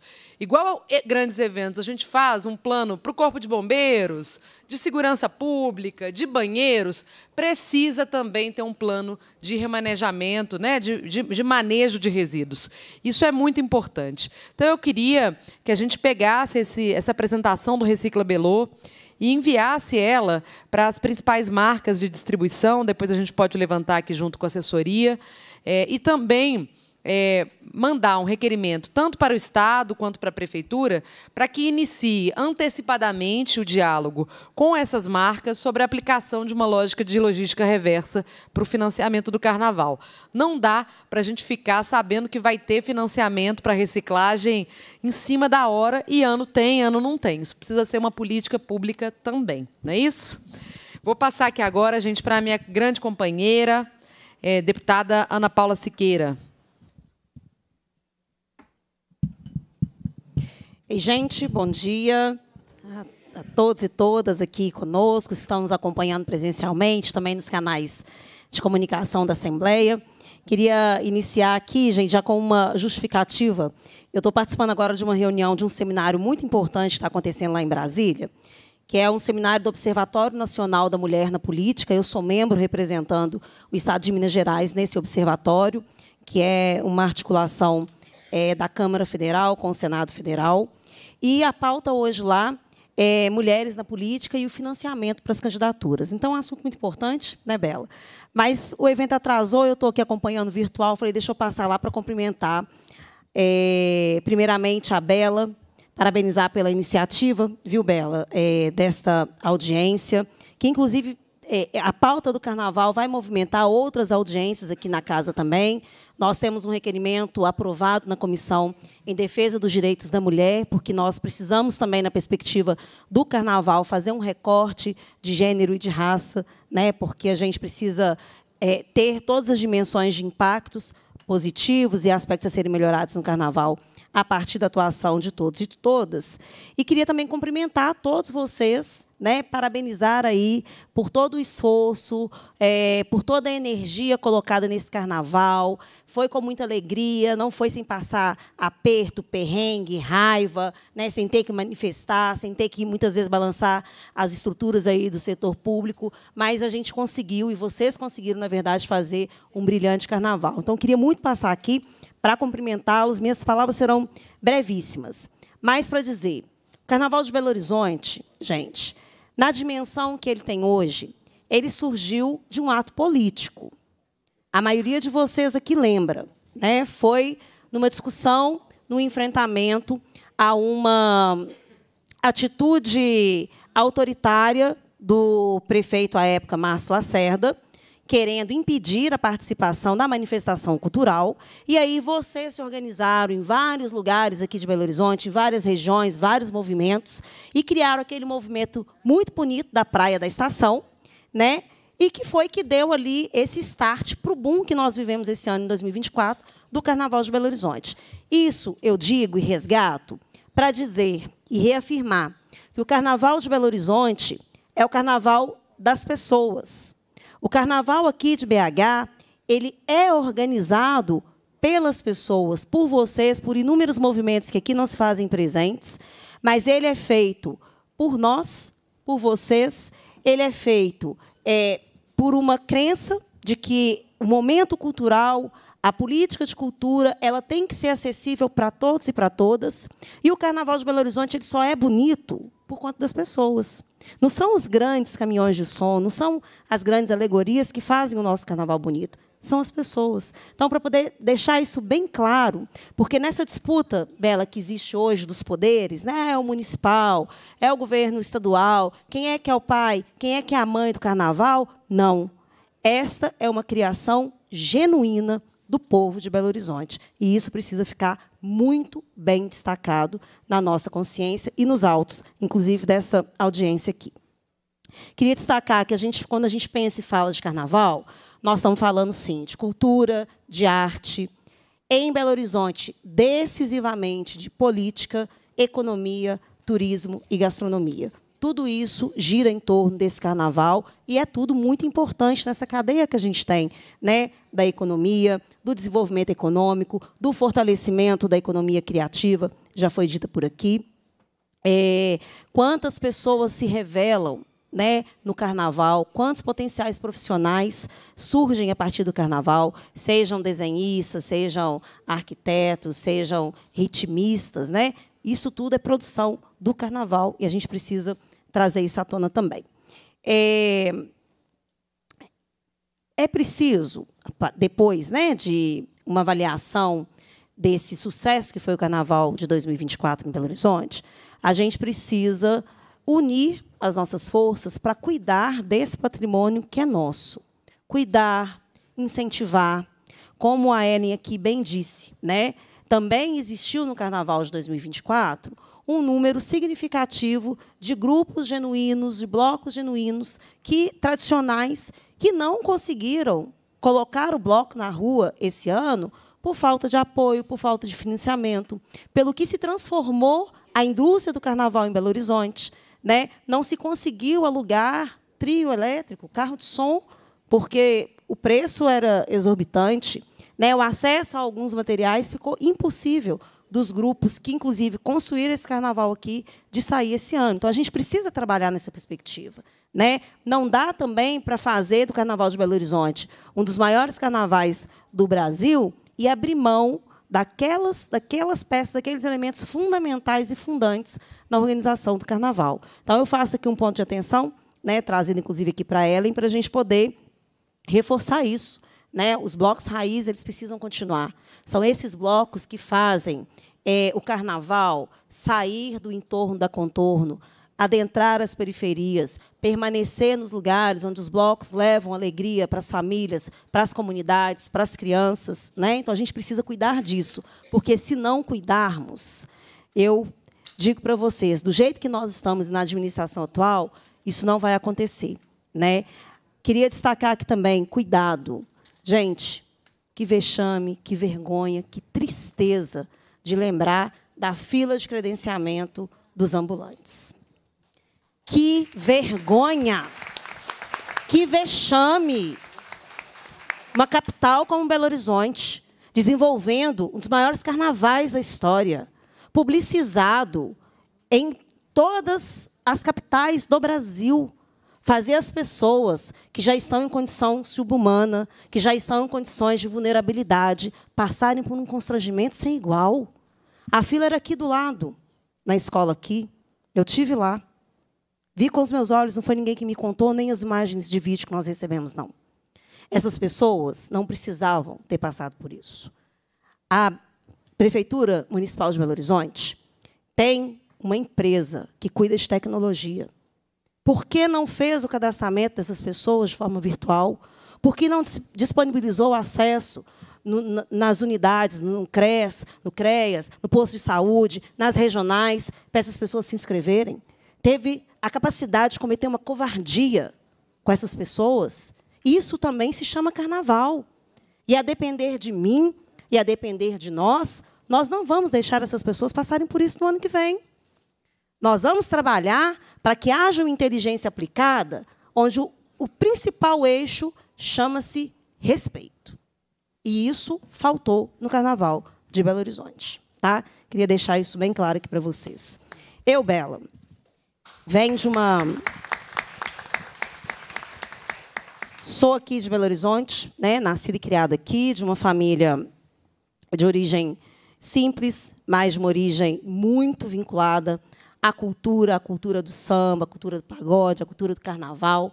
A minha avó, Irene, era adorava sair aí nas alas de baianas, né, da Bem TV, das outras escolas todas que tinham por aqui, né? Minha, minha avó já era uma mulher que no tempo dela, assim, quebrava paradigmas, né, e ia para a avenida para se divertir com muito orgulho, com muita consciência do que ela estava fazendo. Então, o valor do carnaval para mim ele vem muito antes da gente estar sentada aqui nesse espaço. E aí, é, dizer que a gente tem que conservar isso, né, cuidar para que essa é, esse mercado que chega, que nós não somos contra a valorização do, do, sistema hoteleiro, né, do circuito dos bares, das avenidas que tomaram né, é, uma referência esse ano, os grandes palcos, mas se a gente não cuidar, gente, isso desvirtua. Isso desvirtua e é o perigo que a gente corre. Eu queria também destacar que, no Carnaval desse ano, a gente viu inúmeras iniciativas que trabalharam nos seus blocos na perspectiva e na vertente da valorização das mulheres na nossa sociedade. Eu mesma organizei, junto com a minha equipe de trabalho, um bloco. Foi a primeira vez que o bloco desfilou. Bloco Batom Rosa. Desfilou no domingo. Não sei se o pessoal da Belotu que estava lá está aqui, né? Estava não, né? Vocês perderam, viu? Um carnaval com propósito. O bloco Batom Rosa, que tomou as ruas, um bloco de iniciativa minha, ele foi para a rua para levar a discussão do protagonismo das mulheres, da valorização das mulheres, do respeito, da luta contra as violências, do quanto a gente ainda precisa reconhecer as mulheres na sociedade, inclusive nessa função de cuidado que não é valorizada, que não é respeitada e que muitas vezes impede a nós mulheres de estarmos em outros espaços, como, por exemplo, o espaço da política. Então, um bloco com propósito, nós reunimos lá mais de mil pessoas em torno dessa, dessa propositura. Foi um movimento muito bonito, muito forte. Mas eu trago o batom rosa aqui para inclusive fazer um agradecimento a todos e todas que participaram, mas também para dizer que o Carnaval de Belo Horizonte emitiu essa mensagem em vários blocos. Né? O que faz com que a nossa cidade demonstre o desejo de termos aí uma caminhada no campo político progressista, de esquerda, com compromisso com aquelas e com aqueles que estão subrepresentados nos espaços de decisão política, sabe? E qual a importância dessas manifestações e desses blocos temáticos? Nós tivemos uma considerável redução é, nos números de assédio e importunação sexual. Esses dados, a polícia está aqui representada. Nós teremos uma outra audiência para ouvir esses dados. Mas a gente conversou né, com, com vários segmentos, Polícia Civil, Polícia Militar, né, com a SEDES e com, a, com as secretarias municipais aqui, e nós percebemos que nós só conseguimos fazer também do Carnaval de Belo Horizonte um carnaval seguro. Sabe por quê? Por conta das pessoas. Porque muitos de vocês usaram no peito o, o o adesivo, não é não. Porque vocês conseguiram comunicar com turistas e com pessoas que estavam em Belo Horizonte que nós não vamos tolerar mais nenhum tipo de violência contra nós mulheres. Então, queria dizer que o carnaval é muito importante em todos esses aspectos, mas principalmente, gente, o de garantir o que para muitas pessoas é muitas vezes o único momento de efetiva participação de uma festa genuinamente popular como é o carnaval. No que diz respeito aqui a, a fala da, das nossas queridas amiga, amigas, né, companheiras aqui da reciclagem, elas falaram assim que no começo da fala que no carnaval não tem espaço para as catadoras. Isso mudou completamente, né? 2024 vem dizer também que a nossa sociedade, que Belo Horizonte vai ter compromisso com a política socioambiental. Vai ter, a partir da valorização das catadoras, dos catadores de recicláveis, a partir de políticas públicas, a partir de conscientização. Né? É, não tinha espaço até 2024, só que agora, agora não tem jeito de nos tirar.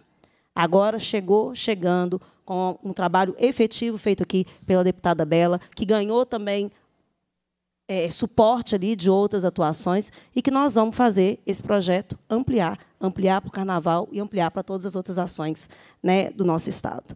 Então, gente, é isso. Né? Na verdade, eu quero que, apesar das minhas é, severas críticas à, à, à, Prefeitura, né, no que diz respeito a, a essa desumanidade cometida com os catadores, eu queria parabenizar a Belotu, que está aqui representada, né, pelo esforço que foi feito. A gente sabe que não é fácil fazer evento. Eu tenho muita experiência, acompanho vocês em outras iniciativas aqui. Né? A gente sabe que a expectativa e a fala aqui é para que no ano que vem seja melhor, que esses problemas apresentados aqui possam estar na pauta de vocês para um cuidado. E aí eu tenho certeza que a nossa audiência de avaliação em 2025 vai ser, inclusive, destacando né, a atuação da prefeitura, que eu tenho certeza que vai ter uma mulher lá à frente recebendo esse título.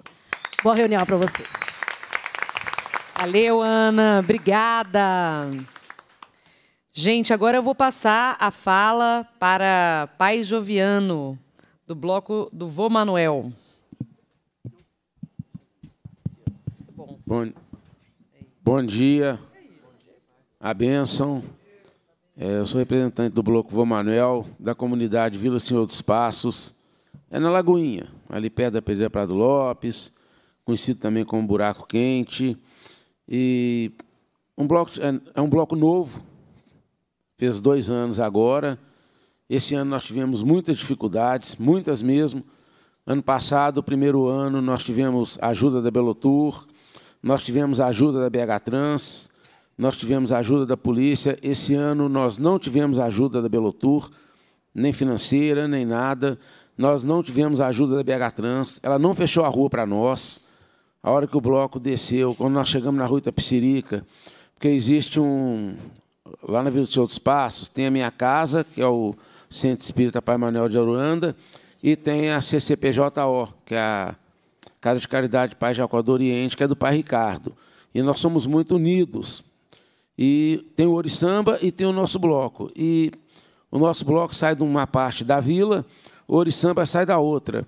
E a gente encontra na Rua Itapsirica e os dois blocos juntam, a gente toca junto, faz uma confraternização. Esse ano a BH Trans não fechou as ruas para a gente passar.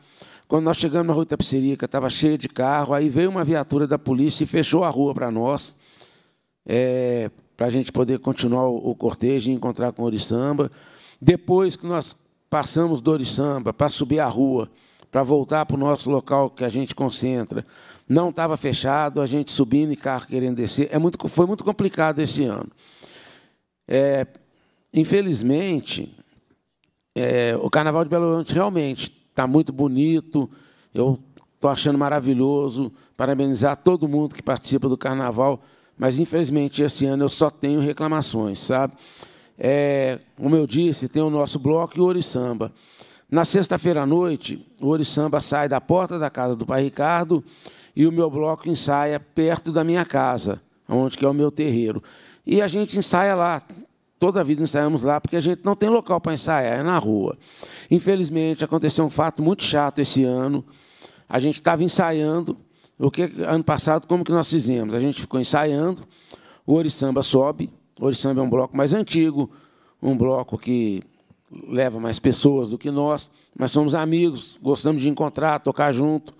O Oriçamba sobe, encontra com, com o nosso bloco lá, a gente toca um pouquinho junto com eles, depois guardamos nossos instrumentos e o pessoal meu mesmo desce e vai lá para, para a gente poder participar junto. Esse ano a gente estava ensaiando, a polícia chegou e me chamou e falou comigo que eu ia ter que parar de ensaiar porque eu ia atrapalhar o cortejo do Oriçamba.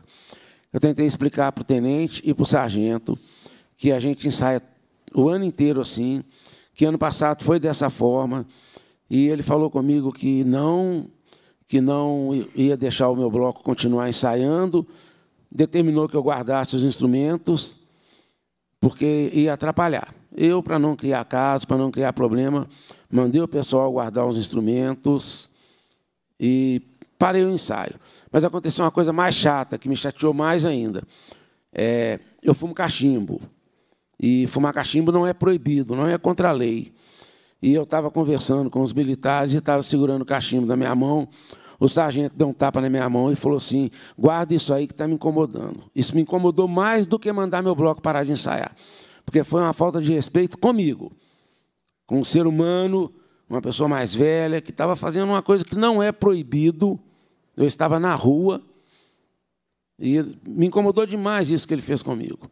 E, assim, eu fico pensando assim: se o meu bloco tocasse no centro, se meu bloco trocar, tocasse na Savassi, em Santa Teresa, eles mandavam parar? Não.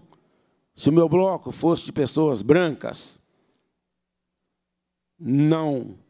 Se o meu bloco não fosse de um terreiro de umbanda, não mandariam parar. Infelizmente, é preconceito contra a religião, por estar na favela, por estar a maioria das pessoas que tocam serem pretas. É isso que faz com que eles mandem a gente guardar os instrumentos, que façam eu parar de fumar, é porque por causa da religião. Se fosse um cigarro, eu duvido que ele mandasse eu parar. Mas o cachimbo está ligado na religião. Então ele mandou que eu parasse. E então assim é, é o preconceito contra a nossa religião, prejudicando o nosso bloco, prejudicando o carnaval de Belo Horizonte, porque atrapalhou nós tivemos que parar, não pudemos tocar mais. E eu estou muito preocupado, porque esse ano nós vamos ensaiar lá. E eu não sei como que vai ser. Se quando a gente começar a ensaiar, se a polícia vai lá mandar eu parar, parar de novo. Porque, infelizmente, gente, nas comunidades, infelizmente é assim. Quando eles pegam a gente para Cristo, é, é toda vez. Então, assim, a tendência agora é toda vez que eu estiver ensaiando, meu bloco estiver ensaiando, dependendo, tá? Não estou generalizando, não. Do militar que estiver na viatura, ele vai lá e vai criar casos, porque o meu bloco é de terreiro. É, é simplesmente por isso. É isso que eu queria dizer. Infelizmente, esse ano, eu fiquei muito satisfeito, porque nós conseguimos colocar o bloco para desfilar, nós conseguimos, sem dinheiro, o bloco cresceu, não podemos colocar mais pessoas na bateria porque não conseguimos comprar instrumentos, mas para o ano nós vamos conseguir, se Deus quiser. Oxóssi e Exu não deixa ninguém na mão, nós vamos comprar, nós vamos arrumar. Mas a única, assim, eu fiquei muito triste por isso, sabe? Pelos fatos que aconteceram e não foi só com o bloco da minha casa. Gabriel está aqui. Foi com o Oriçamba. Eu faço parte também do Afronta BH, que é um outro bloco que é de raiz de matriz africana também. Gabriel vai falar também. Houve problema também, houve sim. É, e, e, e é difícil as pessoas entenderem assim. Quando a gente vai para a rua com bloco, lógico, nós estamos querendo fazer carnaval. Mas é muito mais além disso. É movimento contra racismo, contra homofobia, contra intolerância religiosa. É, é, é muita coisa que está em jogo para nós. Mostrar a nossa religião, mostrar a nossa fé. Quando a gente está descendo uma rua, está andando, cantando, um, um bloco tá cantando, e cantando, pegando uma cantiga nossa, da nossa fé, e leva para leva o bloco, ali vira uma música de carnaval. Mas ali tem muita gente que está ali no carnaval que não sabe o que é a nossa religião. Só que no carnaval ele não está preocupado com religião, ele está preocupado com o carnaval. Só que ali ele vai escutar os nossas, as nossas cantigas, em forma de música de carnaval, sim mas vai entender o que é cantar para um Exu, o que é cantar para um Orixá, o que é cantar para um Preto Velho. E isso para a gente faz bem. E nós precisamos do apoio, seja da Belotur, seja da BH Trans, da Polícia Militar, de todo mundo. Tá? Muito obrigado.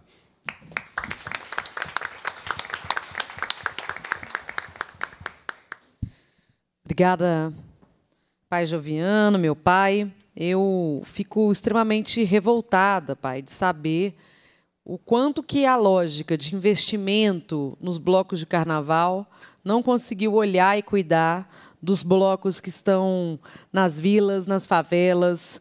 É, sabe que seu vizinho conseguiu um aporte grande, demorou para chegar, mas vários outros blocos de vilas e favelas não tiveram esse investimento.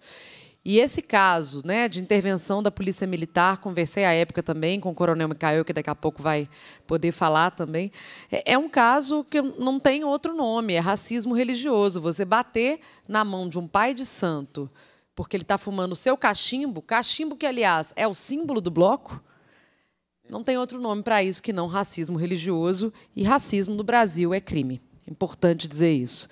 Gabriel, agora do Oriçamba, com a palavra.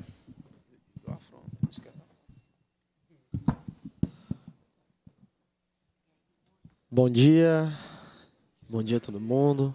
Cumprimentar todo mundo aqui, tomar a benção do pai Ricardo, meu pai, pai Joviano. Agradecer a Bela, cumprimentar todo mundo por ela também.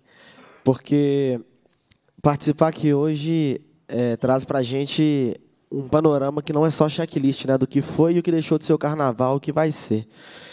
É, então, acho que eu vou começar pelo que o pai Joviano falou, começar pelos movimentos a gente faz. O carnaval não é uma festa, ele é um movimento o ano inteiro, é um movimento perene.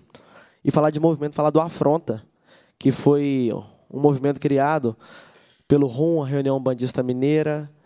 É, Pai Ricardo, Pai Joviano são né, as lideranças estão aqui presentes. Vou falar um pouquinho disso. É, o Afronta sai da Praça da Liberdade e vai até a Praça 7.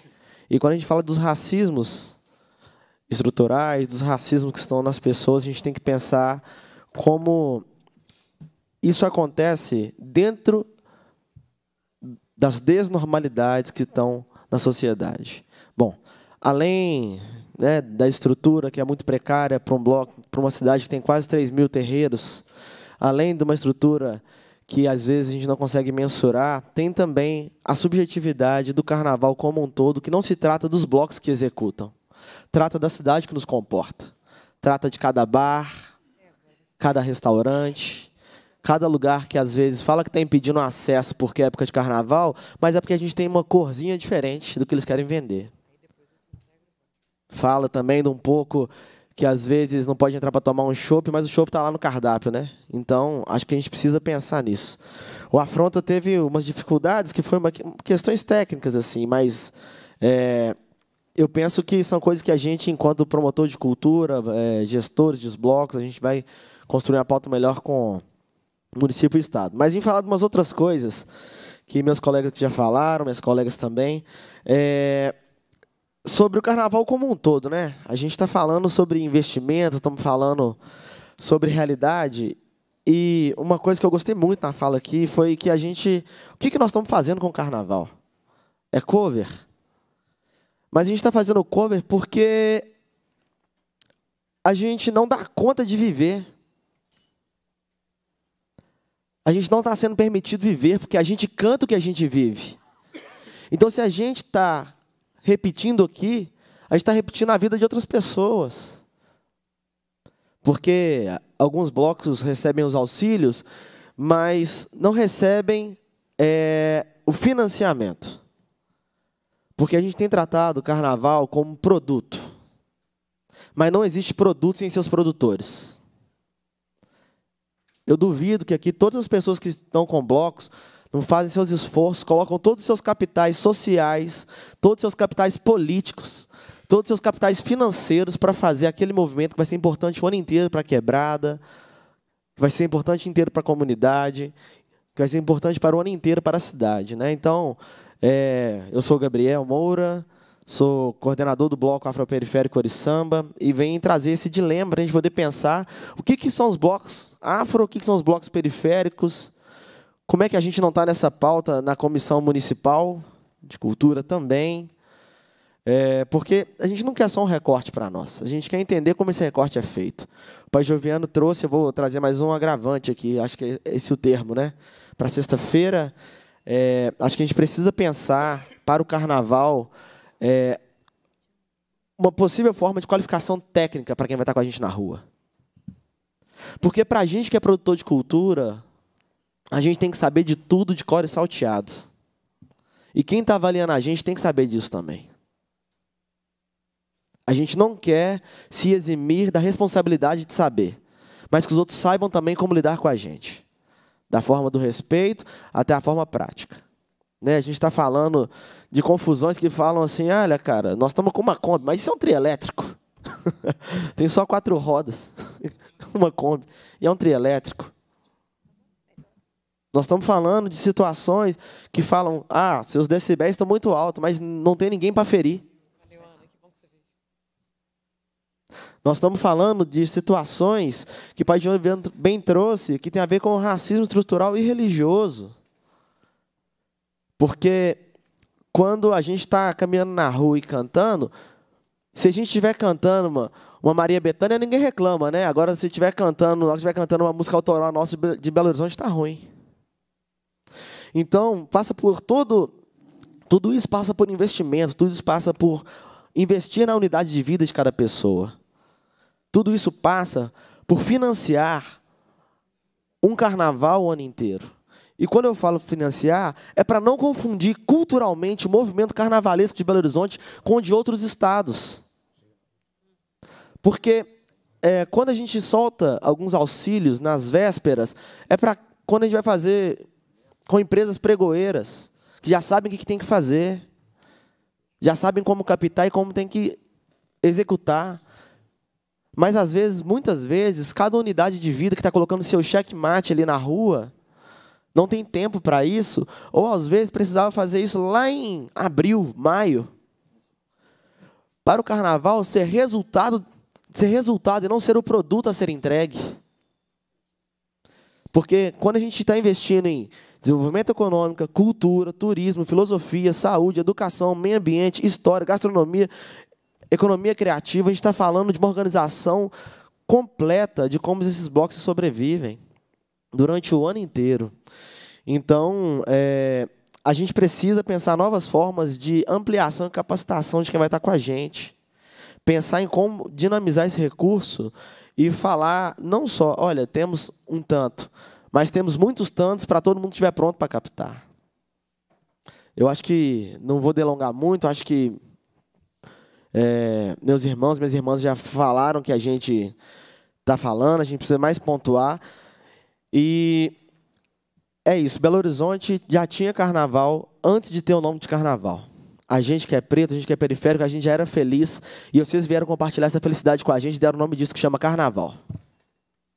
Então, eu queria deixar por aqui, agradecer muito, viu, Bela? Obrigado é, à Comissão de Cultura É, é um movimento muito importante que vocês estão fazendo.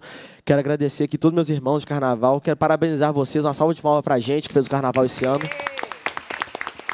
Porque sobreviver um ano para fazer o outro já é muito difícil. Então, é, muito obrigado, Saravá e a benção. Obrigada.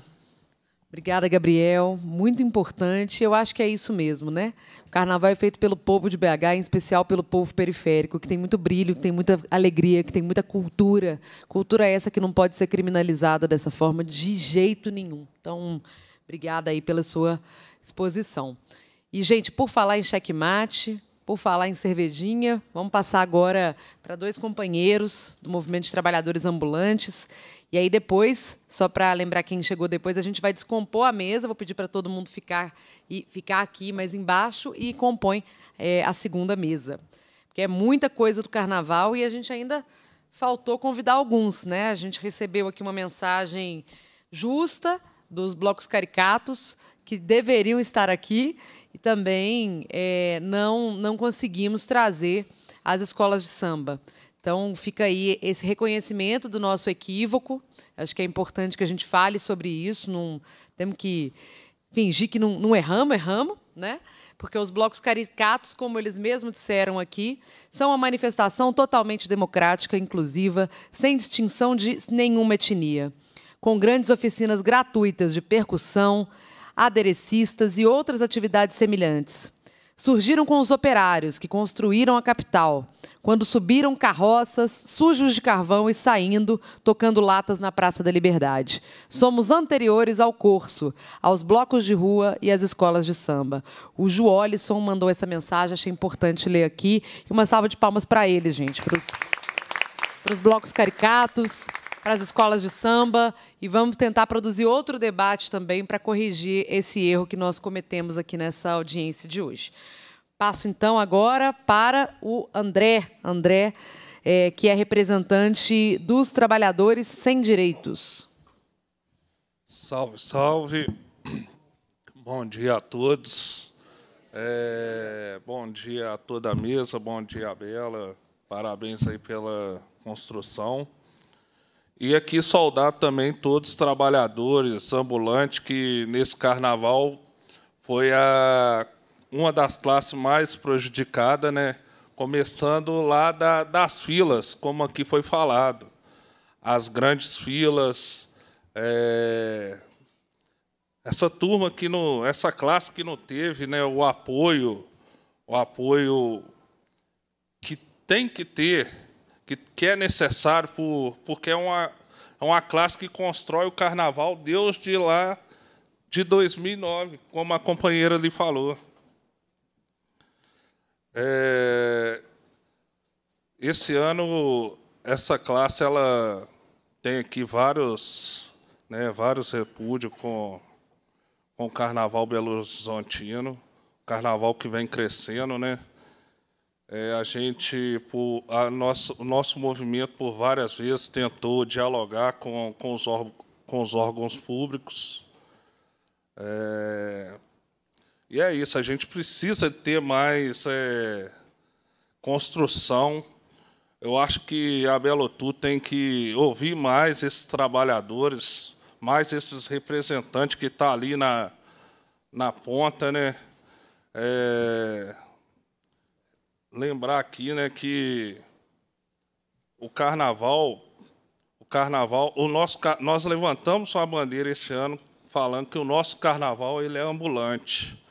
Mas, em prática, não foi isso que aconteceu. O carnaval ele foi direcionado aos grandes empresários, é, trazendo números grandes de trabalhadores. Né?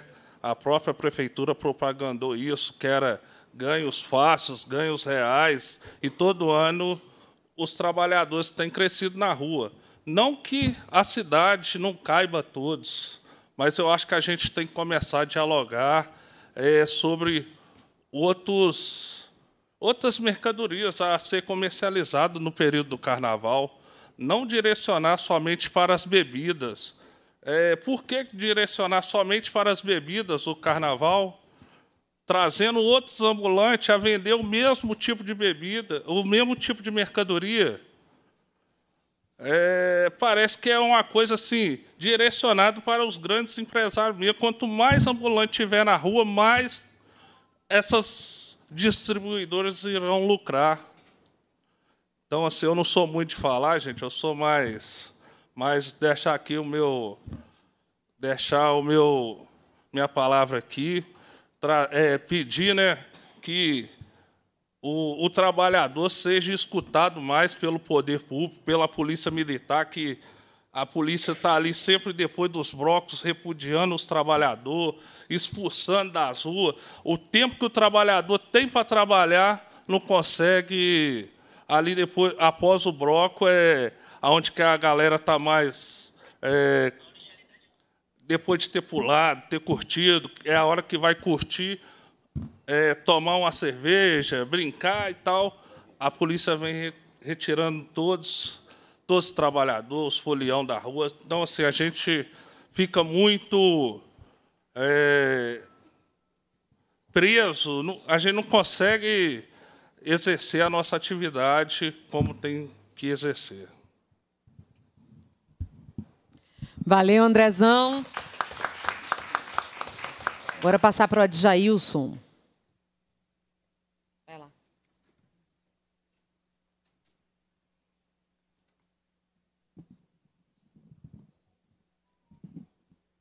É, nessa, bom dia, Bela. Nessa bom dia a toda a mesa, nessa com, convidados e, lógico, a todos os nossos trabalhadores e trabalhadoras ambulantes que estão hoje aqui. Bom, bom, Bela, hoje eu venho aqui com algumas pautas. Entre, entre uma dessas pautas é, é, é, é o que está sobre a Polícia Militar do Estado de Minas Gerais nessa, depois de muitos e muitas truculências contra os nossos trabalhadores ambulantes, esses trabalhadores, pais e mães de famílias que não são vagabundos. E eles estão ali porque foram credenciados. Esse é uma das minhas pautas. Eu acho que a gente, viu, viu Bela, precisamos nessa conversar mais com a Polícia Militar para que esses é, né, para que esses fatos não venham ocorrer nessa novamente. Né, que, já, né, que nós já tivemos vários casos igual esses com a, com a nossa Guarda Civil Municipal de Belo Horizonte. Só, que hoje melhorou muito. Mas a, mas a Polícia Militar de Minas Gerais precisamos articular sobre essa situação, né, porque não é bem visto, nessa, não só pelos ambulantes, mas também pelos nossos é, amigos, catadores né, de reciclagem, né, que sofreram também né, com essa truculência. Sobre o credenciamento, né, como já foi já nessa falado aí, eu acho que nós precisamos é, rever, viu, o Mará, né, com quem eu já estive já também com o Gilberto Castro, que é o presidente da Belotu, a gente precisamos é, rever o número de credenciamento. Né, porque é muito bonitinho o prefeito ir nessa para a imprensa, nessa falar que está dando mais de 20 mil vagas de, é, de, é, de renda para os ambulantes. Né, que, na verdade, não é verdade isso, gente. A gente sabe né, que a gente tem pais e mães de famílias, né, que trabalha o ano todo debaixo de sol, debaixo de chuva, esse sim, esse sim, né, que tem que ser valorizado. E, e não abrir mais de 20 mil vagas de credenciamento para gente que nunca foi ambulante na vida. E o pior disso tudo, eu mesmo presenciei ônibus vindo de outros estados, como Rio, São, São Paulo, e o pior, eu vi, eu mesmo presenciei, dois ônibus che che chegando da cidade de Nanuque. E isso é muito triste. A gente vê os nossos pais e mães de famílias sendo prejudicados.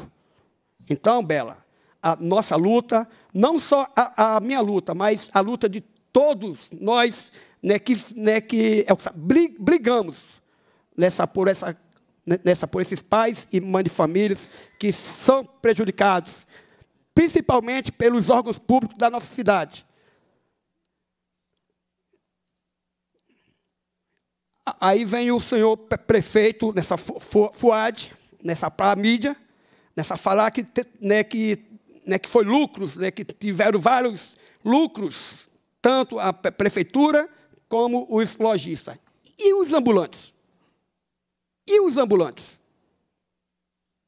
Então aqui deixo o meu é, repúdio nessa, nessa, sobre esse carnaval, né, que esses pais e mães de família esperam o ano inteiro, porque são desses grandes eventos que eles tiram seu décimo terceiro. E esse ano foi negativo. Mais uma vez, viu, Bela? Gostaríamos de depois, juntamente com as outras associações, termos uma é, reunião, um debate melhor com a nossa Polícia Militar de Minas Gerais. Uhum. Eu acho que é assim, com muito nesse diálogo, né, que nós vamos buscar nossos objetivos. Muito obrigado a todos e uma, e uma excelente tarde para todos. Muito obrigada. Muito obrigada, Jailson. A gente tem feito uma luta há alguns anos, a campanha Meu Carnaval é Ambulante. Porque antes o carnaval já foi, inclusive, fechado para os ambulantes quando teve um carnaval da Rádio 98, há uns 10 anos atrás, tentativa de impedir os ambulantes.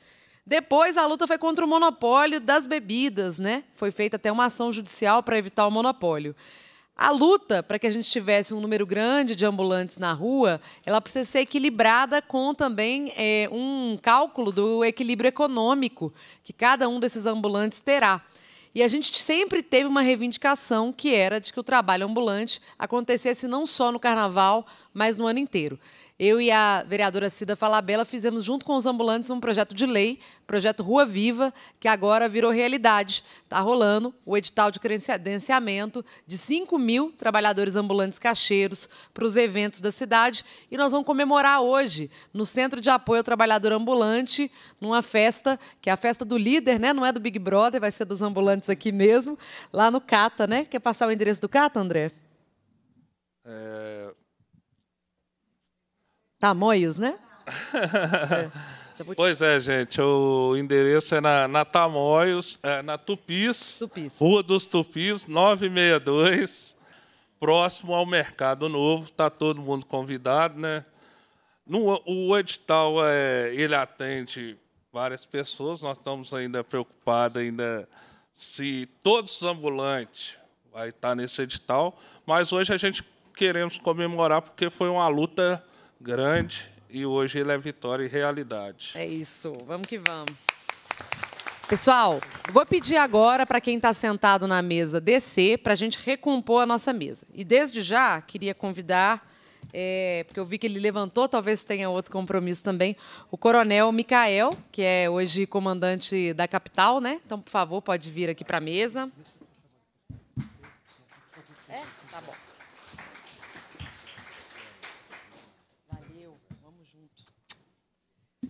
Vou chamar aqui também a Mará, que está representando a Belotur.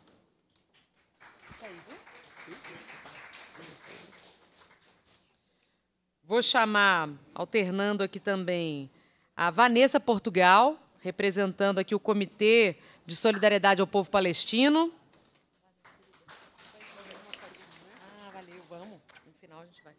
Vou representar, chamar o André Veloso, do Movimento Tarifa Zero e Bloco Pura, Pula Catraca.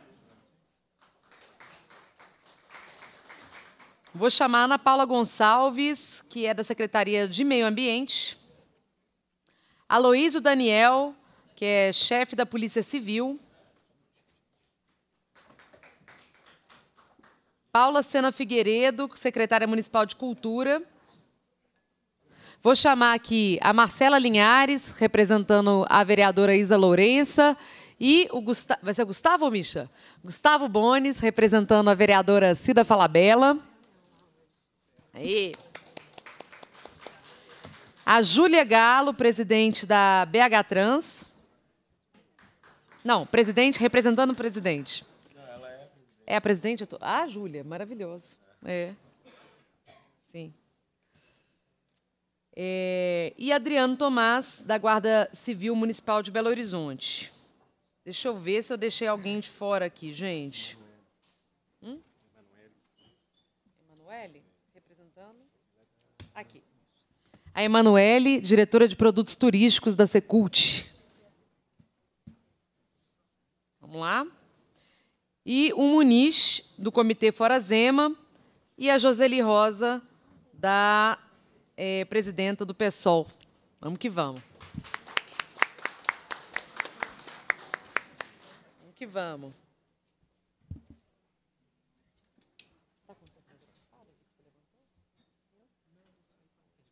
Ah, então tá bom, beleza. Então vou continuar com a sociedade. Tá bom. Então, beleza. Então, gente, rapidamente, já vou passar aqui a fala para a Vanessa Portugal, que teve presente, né, junto com o comitê, em quase todos os blocos de carnaval dessa cidade. Foi muito presente é, a atuação de solidariedade ao povo palestino e a discussão de que na folia a gente também precisava politizar esse momento de defesa do povo palestino. Eu considero que logo depois do Carnaval, o posicionamento do presidente Lula e é, o posicionamento, portanto, do governo brasileiro sobre a causa palestina teve muito a ver também com essa mobilização ampla da sociedade que começou desde que esse genocídio foi instaurado ali é, no Oriente Médio, na faixa de Gaza. Passo então para a Vanessa fazer suas considerações. Gente, é, bom dia. É, quase todos, a Bela pegou pesado, mas a gente foi em muitos. É, quase todos. É, é, não, olha só. É, o Comitê Mineiro de Solidariedade à Palestina ao povo palestino, ele se reuni, ele se retomou, retomou a sua composição desde que, que iniciou o novo conflito. E a discussão da participação do Carnaval foi uma discussão importante, né? Desde o é, do debate se uma tragédia, eu não sei se o termo é esse, mas não deixa de ser uma tragédia, devia ou não ser retratado no Carnaval. E, claro, a discussão foi que o carnaval é, antes de tudo, resistência. E nada, nesse momento, na história do mundo, nada, nesse momento, na história do mundo, representa maior resistência do que acontece na Palestina.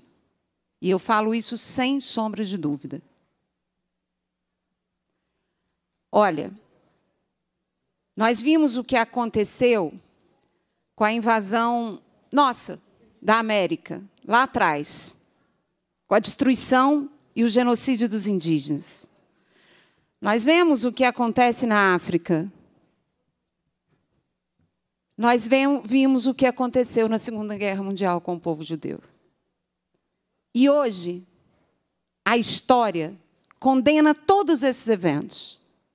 Ninguém, ninguém nem o mais safado representante da ultradireita liberal tem coragem de dizer que foi certo. Ninguém. Ninguém tem coragem de dizer. Agora tem um evento acontecendo no nosso tempo real. No nosso tempo real. Tem um povo sendo exterminado. A resistência do povo palestino é uma coisa inacreditável. Inacreditável. São 70 anos. Foram guerras.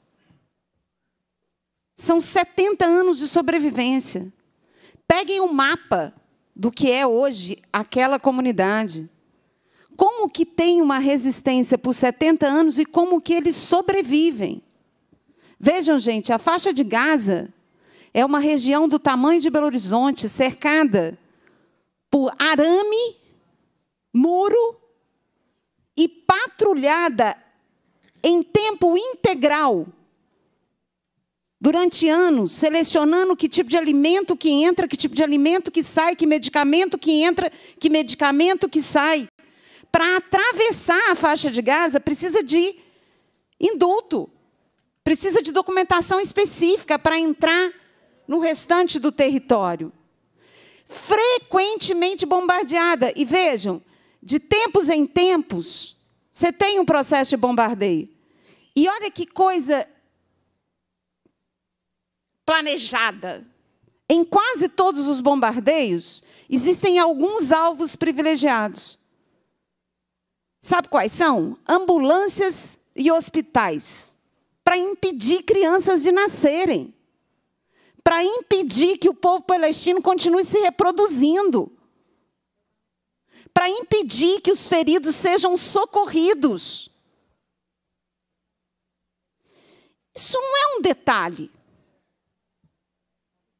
E aí, gente, ninguém aqui está discutindo se temos ou não afinidade religiosa com Hamas, ou se temos ou não afinidade religiosa com os árabes, ou qual é a nossa opinião religiosa sobre o povo judeu. Isso não está em questão. Não é esse o debate. Sequer é o debate sobre posicionamento político de uma ou outra liderança. A discussão aqui é se um povo tem direito de continuar existindo ou não. Esse é o debate. E se nós achamos que genocídio está valendo. Essa é a discussão. Porque, vejam, nós vivemos uma matança generalizada no Brasil, justamente com relação ao povo negro, e os indígenas também. Generalizada. E diga de passagem, compramos e continuamos comprando armas do Estado de Israel para continuar matando a juventude negra nas periferias de Belo Horizonte. É um negócio de Belo Horizonte não, do Brasil, um negócio impressionante. Agora, não dá para a gente dizer que tudo bem para o genocídio da Palestina, entende? Porque se tudo bem para o genocídio do Palestina, isso é um método que a gente absolve no mundo que pode exterminar, que pode massacrar um povo. E nós não podemos fazer isso. Não tem justificativa religiosa. Não tem uma Bíblia que diz que existe um povo que pode entrar num território, roubar esse território de outro povo, matar esse povo para ocupar esse espaço. Gente, eu não sou religiosa, mas não façam isso. Ou não permitam que se façam isso. Porque nenhuma pessoa religiosa honesta, de qualquer religião, defende isso. Isso é o uso mais mesquinho da fé do povo para justificar a matança. Isso é a volta do que fizeram nas cruzadas. Utilizar a fé do povo para justificar matar um outro povo. Enfim, termino dizendo voltando para o carnaval. E, e, encerrando aqui, eu não controlo meu tempo e eu falo muito e não tenho noção de que estou falando muito. Só para você saber, Vanessa, ali tem. A gente está ah. colocando até cinco por pessoa. Tá, então vou concluir. Então vejam, participar do Carnaval de Belo Horizonte foi uma alternativa absolutamente correta, porque nenhum outro evento dialoga tanto na atualidade, né, gente? Nesse momento, nenhum outro evento dialoga tanto com a população comum. O que é a população comum? É aquela população que não para duas, três, quatro horas do seu dia para pensar nesses assuntos, como a gente faz, né? Duas, três horas é pouco. Para muitas horas do nosso dia para pensar nesse assunto. O trabalhador comum não faz isso. E vou achar uma palavra melhor do que desgraçadamente. Mas talvez seja isso mesmo. Quando para, para sobre a influência da Record, para sobre a influência da Rede Globo, para sobre a influência da Bandeirantes, para sobre a influência de uma imprensa maldita que distorce os fatos e que coloca o oprimido como sendo o opressor. Coloca o oprimido na condição de bandido, na condição de marginal. Então, é muito importante que no carnaval a gente dialogasse. E, claro, foi uma ação conjunta do comitê com os blocos. Né? Foi feito um chamado aos blocos anteriormente, Então, não foi uma coisa do comitê só ocupando os espaços. Né? Em muitos blocos que a gente chegava, os blocos mesmo já tinham organizado qual seria a intervenção, e, e, e foi muito importante cruzar esses dois momentos. E paro por aqui, gente, não vou me atrever a falar sobre as questões específicas do carnaval, mesmo porque não precisa. Né? A mesa anterior tem muito mais é, condição de falar sobre isso é, mas aqui prestar toda a nossa solidariedade, algumas das questões citadas, é, em especial ao episódio do cachimbo, né? porque relatado pelo pai Joviano aqui, eu não vi todas as falas. Porque é isso, né? Todas as expressões de racismo, todas as expressões de ódio sobre um povo, elas precisam ser detectadas, elas precisam ser enfrentadas é, de imediato. Obrigada pela atenção, gente. Obrigada, Vanessa. Parabéns pela atuação de todo o comitê. Fiz essa, essa menção também nas redes, mas não podia deixar de fazer aqui também pessoalmente a importância que foi ver a atuação do comitê no Carnaval. É, vou passar agora para é, o André Veloso, representante do movimento Tarifa Zero e é, Bloco Pula Catraca. Bom, bom dia, gente. Obrigado, Bela. É, agradecer o convite e a presença aqui. É, a gente tem um bloquinho, chama Pula Catraca, que nosso bloco ainda é sempre 2009, porque a gente está bem pequenininho ainda. Na verdade, a gente cresceu bastante depois da pandemia, ele deu uma diminuída, curiosamente. Mas a, a gente seguia o, o nome do bloco mesmo, tá? A ideia do bloco era acessar o transporte público pulando catraca, que nem o Tianzinho fazia. É, não com a magnitude que o Tianzinho é, fez os pulos de catraca, assim. Mas a gente, às vezes que a gente fez isso durante o carnaval, sempre a gente precisou de alguma mediação, porque os, é, os funcionários da segurança metroviária ficavam muito bravos com a gente.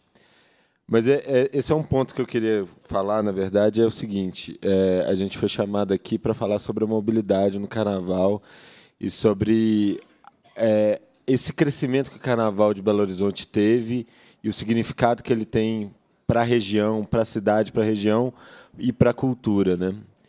Então, quando foi mencionado aqui é, de passagem que a, a questão da ida do Tianzinho da Zona Norte da zona norte da cidade para o centro da cidade pelo metrô esse ano foi muito mais complicada. Isso tem um motivo concreto que é a privatização do metrô e o desfinanciamento é, que tem ocorrido, a precarização. A gente tem relatos de metroviários que continuam trabalhando lá, mesmo depois da privatização, que, por exemplo, o setor de manutenção ele tinha mais de 20 funcionários, hoje ele tem é, 4, 5. Né? A gente vê os acontecimentos cotidianos, não envolvendo carnaval, é, de pane, né, de falta de horários, etc. E a gente entende como que isso afeta o dia a dia das pessoas. E quando você tem um evento do porte de, do Carnaval de Belo Horizonte, né, crescendo ano a ano, atraindo 5 milhões e meio de pessoas, você precisa de uma operação especial no transporte público. Você não pode contar que a mobilidade das pessoas vai ser feita é, pelo, de maneira individual motorizada por uma série de razões. Uma é porque nem todo mundo tem condições de fazer isso. Duas é porque se todo mundo fizer, fizer isso, ainda mais com a cidade com várias vias fechadas, o trânsito da cidade para. E terceiro, mais importante, é que é perigoso. É uma questão de saúde pública, principalmente no carnaval, em que as pessoas estão tanto os transeuntes, pedestres, quanto as pessoas que vão se deslocar estão, é, podem estar mais alcoolizadas. Né?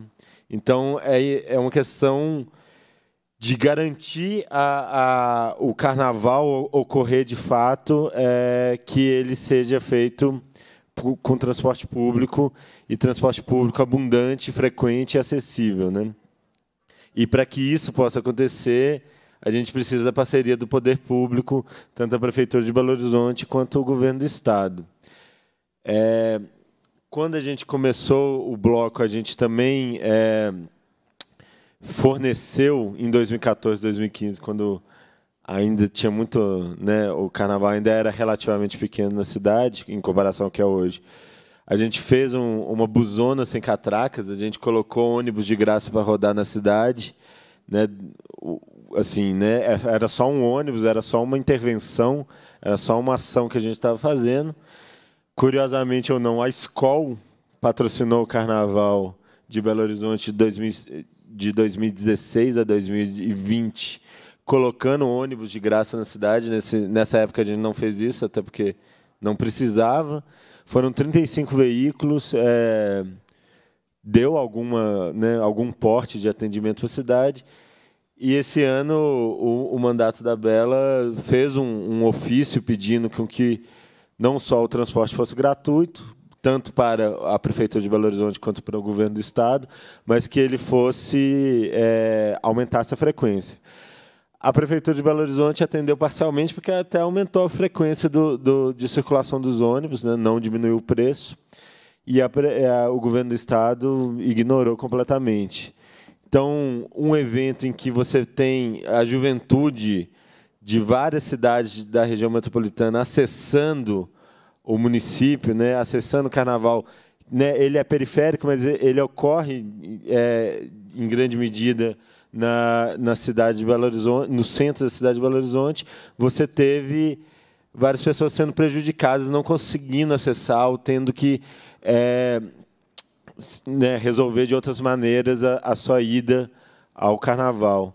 Então, o que a gente pede, para concluir, o que a gente pede do, do governo, da, da prefeitura e principalmente do governo do Estado, né, agora no dia 29 de fevereiro, faltando um ano para o próximo carnaval, é que haja de fato um planejamento e a, a criação de um instrumento de financiamento do sistema de transporte público para que isso possa ocorrer, para que o transporte possa ser gratuito, frequente, abundante, com linhas especiais no próximo carnaval. Existe esse instrumento em Belo Horizonte, desde julho de 2023, o subsídio tarifário é uma realidade. Então, o, o, qualquer transporte pode, pode ser gratuito e financiado indiretamente, mas esse instrumento ainda não existe na região metropolitana e não existe para o metrô. Então, essa é a nossa, nossa demanda, não é uma coisa absurda, não é, um, não é um gasto, não é uma despesa, é um investimento que o governo estaria fazendo, inclusive, para trazer e democratizar de fato a festa na cidade. É isso, gente. Obrigado. Valeu, André. Vou agora passar, gente, para é, aqui o Gustavo Bones representando a vereadora Cida Falabella. Bom dia.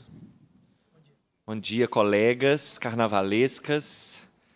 Obrigado, Bela, pelo convite. É muito bom estar aqui nesse Axé que contagia. Eu queria dizer que hoje a vereadora Cida Falabella está em Belém do Pará, a convite da ONU Mulheres, fazendo uma discussão sobre as políticas de cuidados na América Latina. Então, infelizmente, eu estou aqui representando ela. Peço que vocês me imaginem sendo Cida, já que nós somos do teatro. É, eu queria contar para vocês que a Cida Falabella, nossa vereadora da cultura, da arte, do carnaval, compõe hoje o grupo de trabalho do Carnaval na Câmara Municipal de Belo Horizonte, junto com outros vereadores.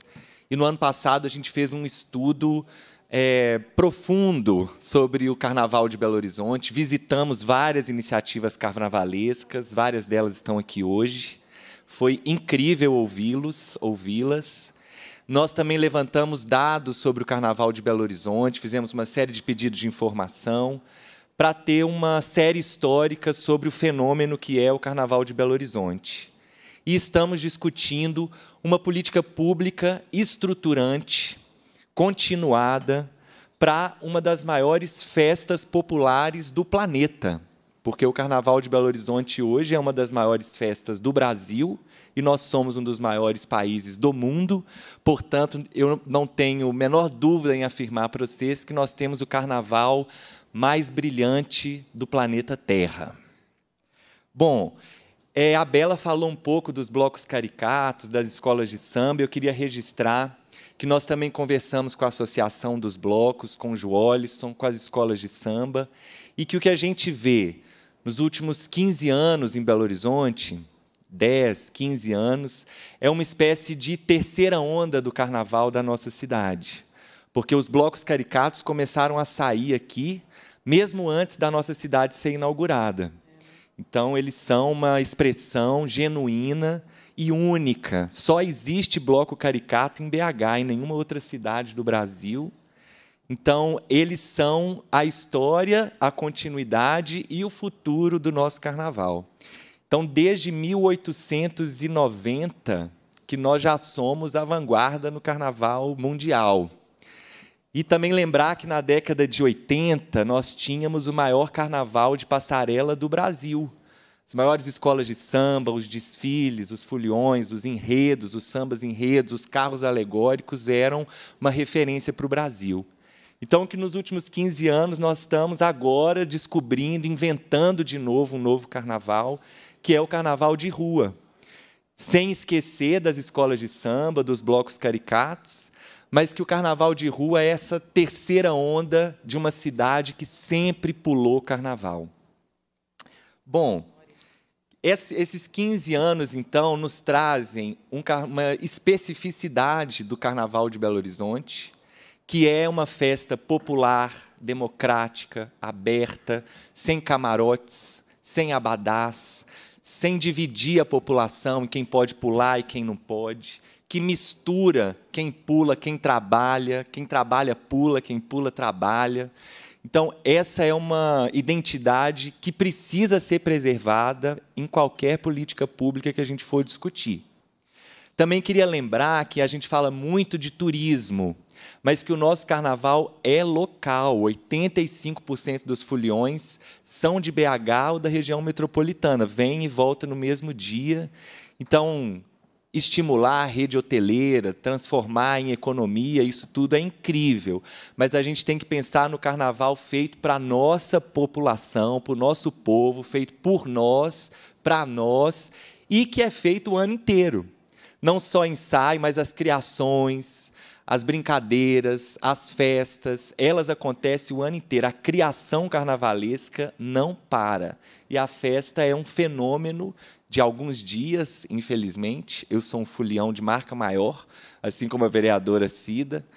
Essa festa ela tem um marco temporal, mas ela acontece o ano inteiro. E por isso a gente fala em cultura do carnaval mais do que em turismo e evento, a gente precisa pensar na cultura continuada do Carnaval de BH.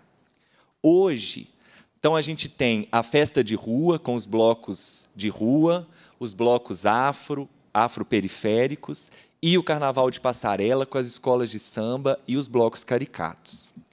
Nesse GT que eu falei para vocês mais cedo, que a gente fez uma espécie de uma semi-conclusão no final do ano passado, a gente tirou uma série de recomendações para o poder público que, obrigado, que uh, estão, que eu vou ler rapidamente, porque muitas já foram faladas aqui, tá? Então a gente está discutindo como fomentar a cultura do carnaval, como consolidar o debate sobre uma lei geral do carnaval de Belo Horizonte criar um plano de acessibilidade do carnaval, ampliar a interlocução da prefeitura com o governo do estado. Essa briga não interessa a ninguém e elas precisam trabalhar é, de forma compartilhada e complementar. Nós precisamos aumentar os valores de fomento e antecipar o repasse dos recursos para os blocos, escolas e blocos caricatos, e criar um financiamento específico para os blocos afro, que ainda não existe. É, promover ações de formação e capacitação durante o ano inteiro, ampliar o diálogo com a segurança pública, que é sempre um desafio, nós já vimos vários relatos aqui hoje, principalmente nos cortejos de dispersões periféricos e afro, assegurar sedes, quadras, espaços para ensaio, barracões para as iniciativas carnavalescas. Só uma escola de samba de BH tem quadra hoje. Isso é bem assustador. E simplificar o licenciamento, os, os desfiles, tornar isso mais, mais fácil. Para concluir, pessoal, eu queria lembrar que em 2024, nós ainda estamos analisando esses dados, eu espero que a Mará fale um pouco mais deles, sobre o Carnaval de 2024. Mas eu queria lembrar que a BBC, aquela agência internacional de notícias, falou que o Carnaval de BH é a nova sensação do Carnaval brasileiro. E que a Rede Globo entrou com inserções ao vivo ao longo dos, de todo o carnaval na sua programação. Não foi isso que fez o nosso carnaval ser grande, mas isso mostra o tanto que ele está gigantesco.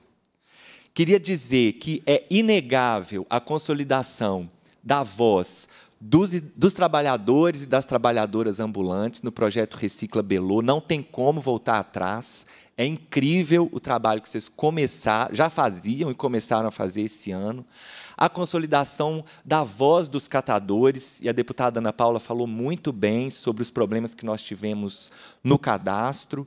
E eu queria falar do pessoal da limpeza, que eu, como fulião, vi que esse ano foi diferente, foi melhor e foi incrível vê-los trabalhando. É, eu achei que a Vanessa falou muito bem da Palestina, mas queria registrar que eu vi muitas bandeiras, muitos adesivos, muitas ações espontâneas, inclusive no Então Brilha. É, a gente experimentou esse circuito sonorizado aí, que é uma experiência e é uma iniciativa isolada. Ela não é o Carnaval de Belo Horizonte, está longe de ser. Pode ter sido uma coisa legal e a gente precisa avaliar isso mas isso foi feito com dinheiro da Lei de Incentivo à Cultura. E o Estado precisa discutir como vai aplicar esse recurso, com transparência, com critérios, e colocar para a gente como que esse dinheiro vai ser gasto. E dizer também, já avaliando aí a história com o governo Zema, que ninguém está falando do carnaval do interior. E que o governo Zema anunciou uma série de ações que ninguém sabe o que, que é, e que a gente precisa, então, descobrir, entender, discutir e voltar a falar do carnaval feito no interior de Minas. Estamos na Assembleia Legislativa e BH é uma, o carnaval mais brilhante do planeta, mas não é o único carnaval de Minas Gerais. A gente tem que lembrar disso também.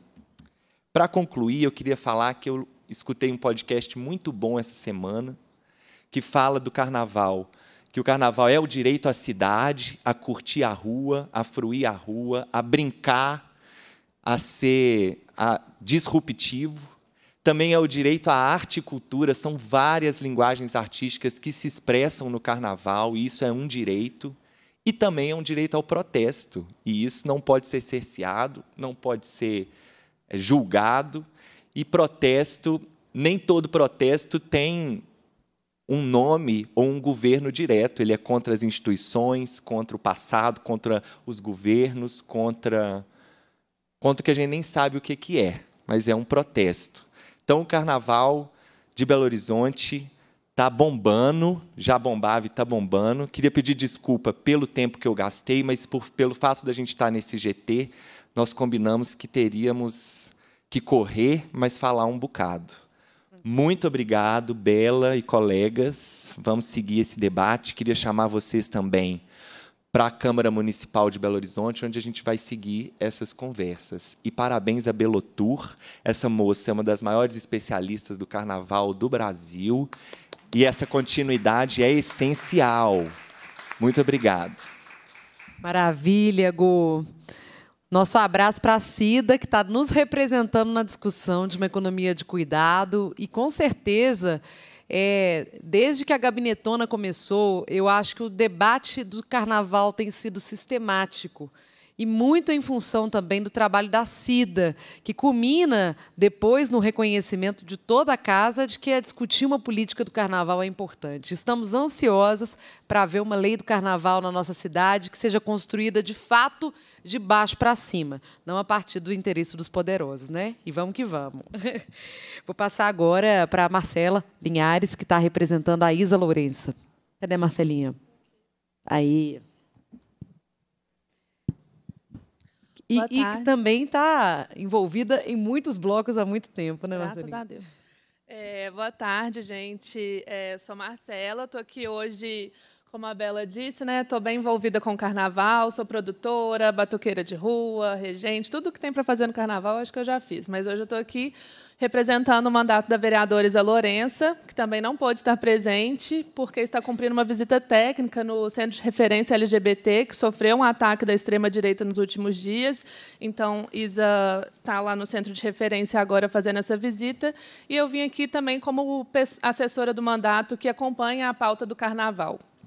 É, queria cumprimentar os blocos, os ambulantes, os catadores, os blocos caricatos, as escolas de samba, os foliões, todo mundo que faz o carnaval da nossa cidade.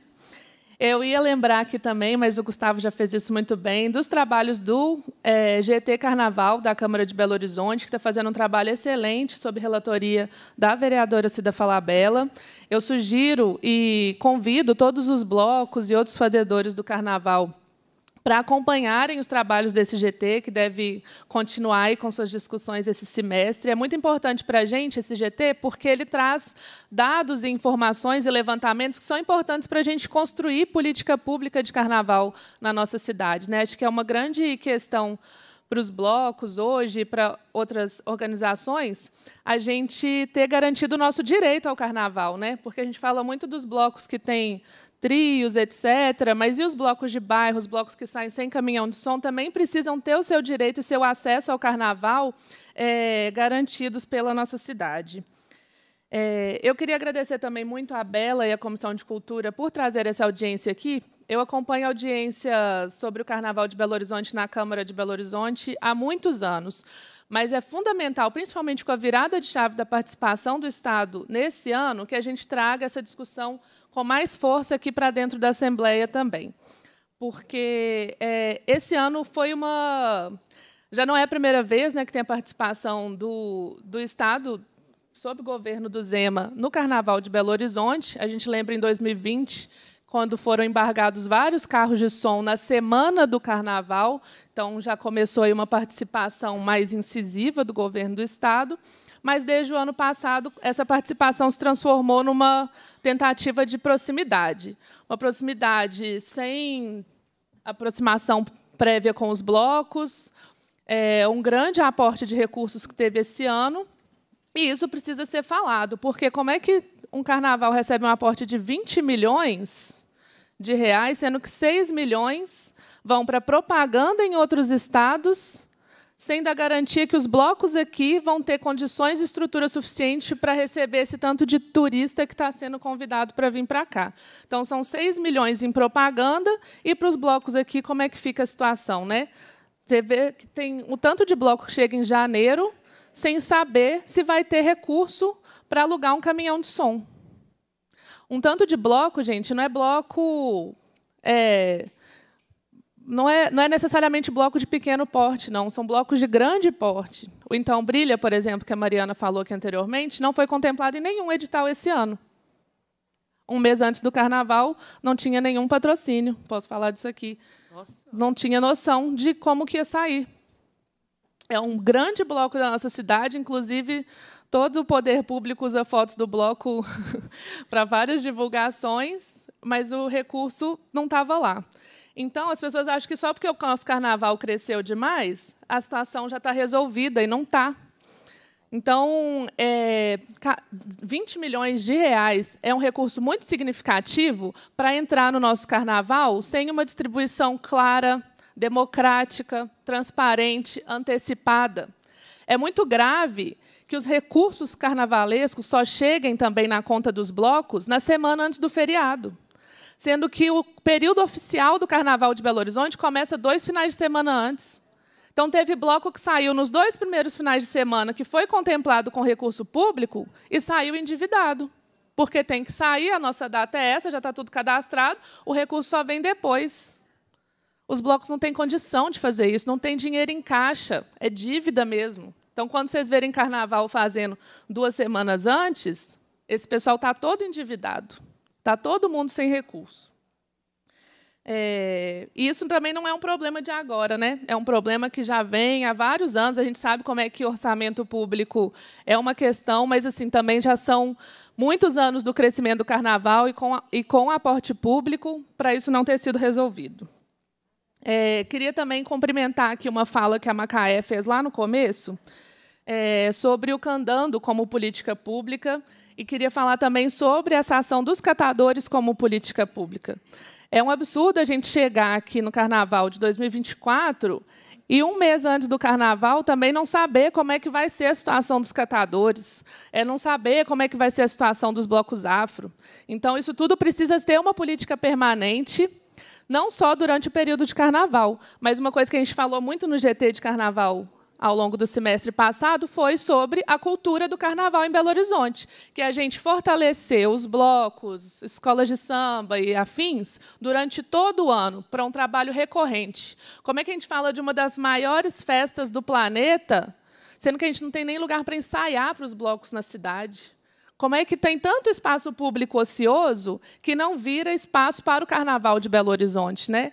Então, queria só dizer que a gente está muito atento no mandato a todas essas questões, é, com maior proximidade, né? Por Isa ser uma vereadora negra e ter maior atuação na pauta antirracista, então temos mais proximidade com os blocos afro, as discussões que os envolvem, mas estamos atentos aí é, a toda a tudo que acontece no Carnaval de Belo Horizonte. Antes de encerrar, só queria lembrar de mais uma situação, porque é, o nosso colega falou na mesa anterior sobre a situação da polícia militar com os ambulantes.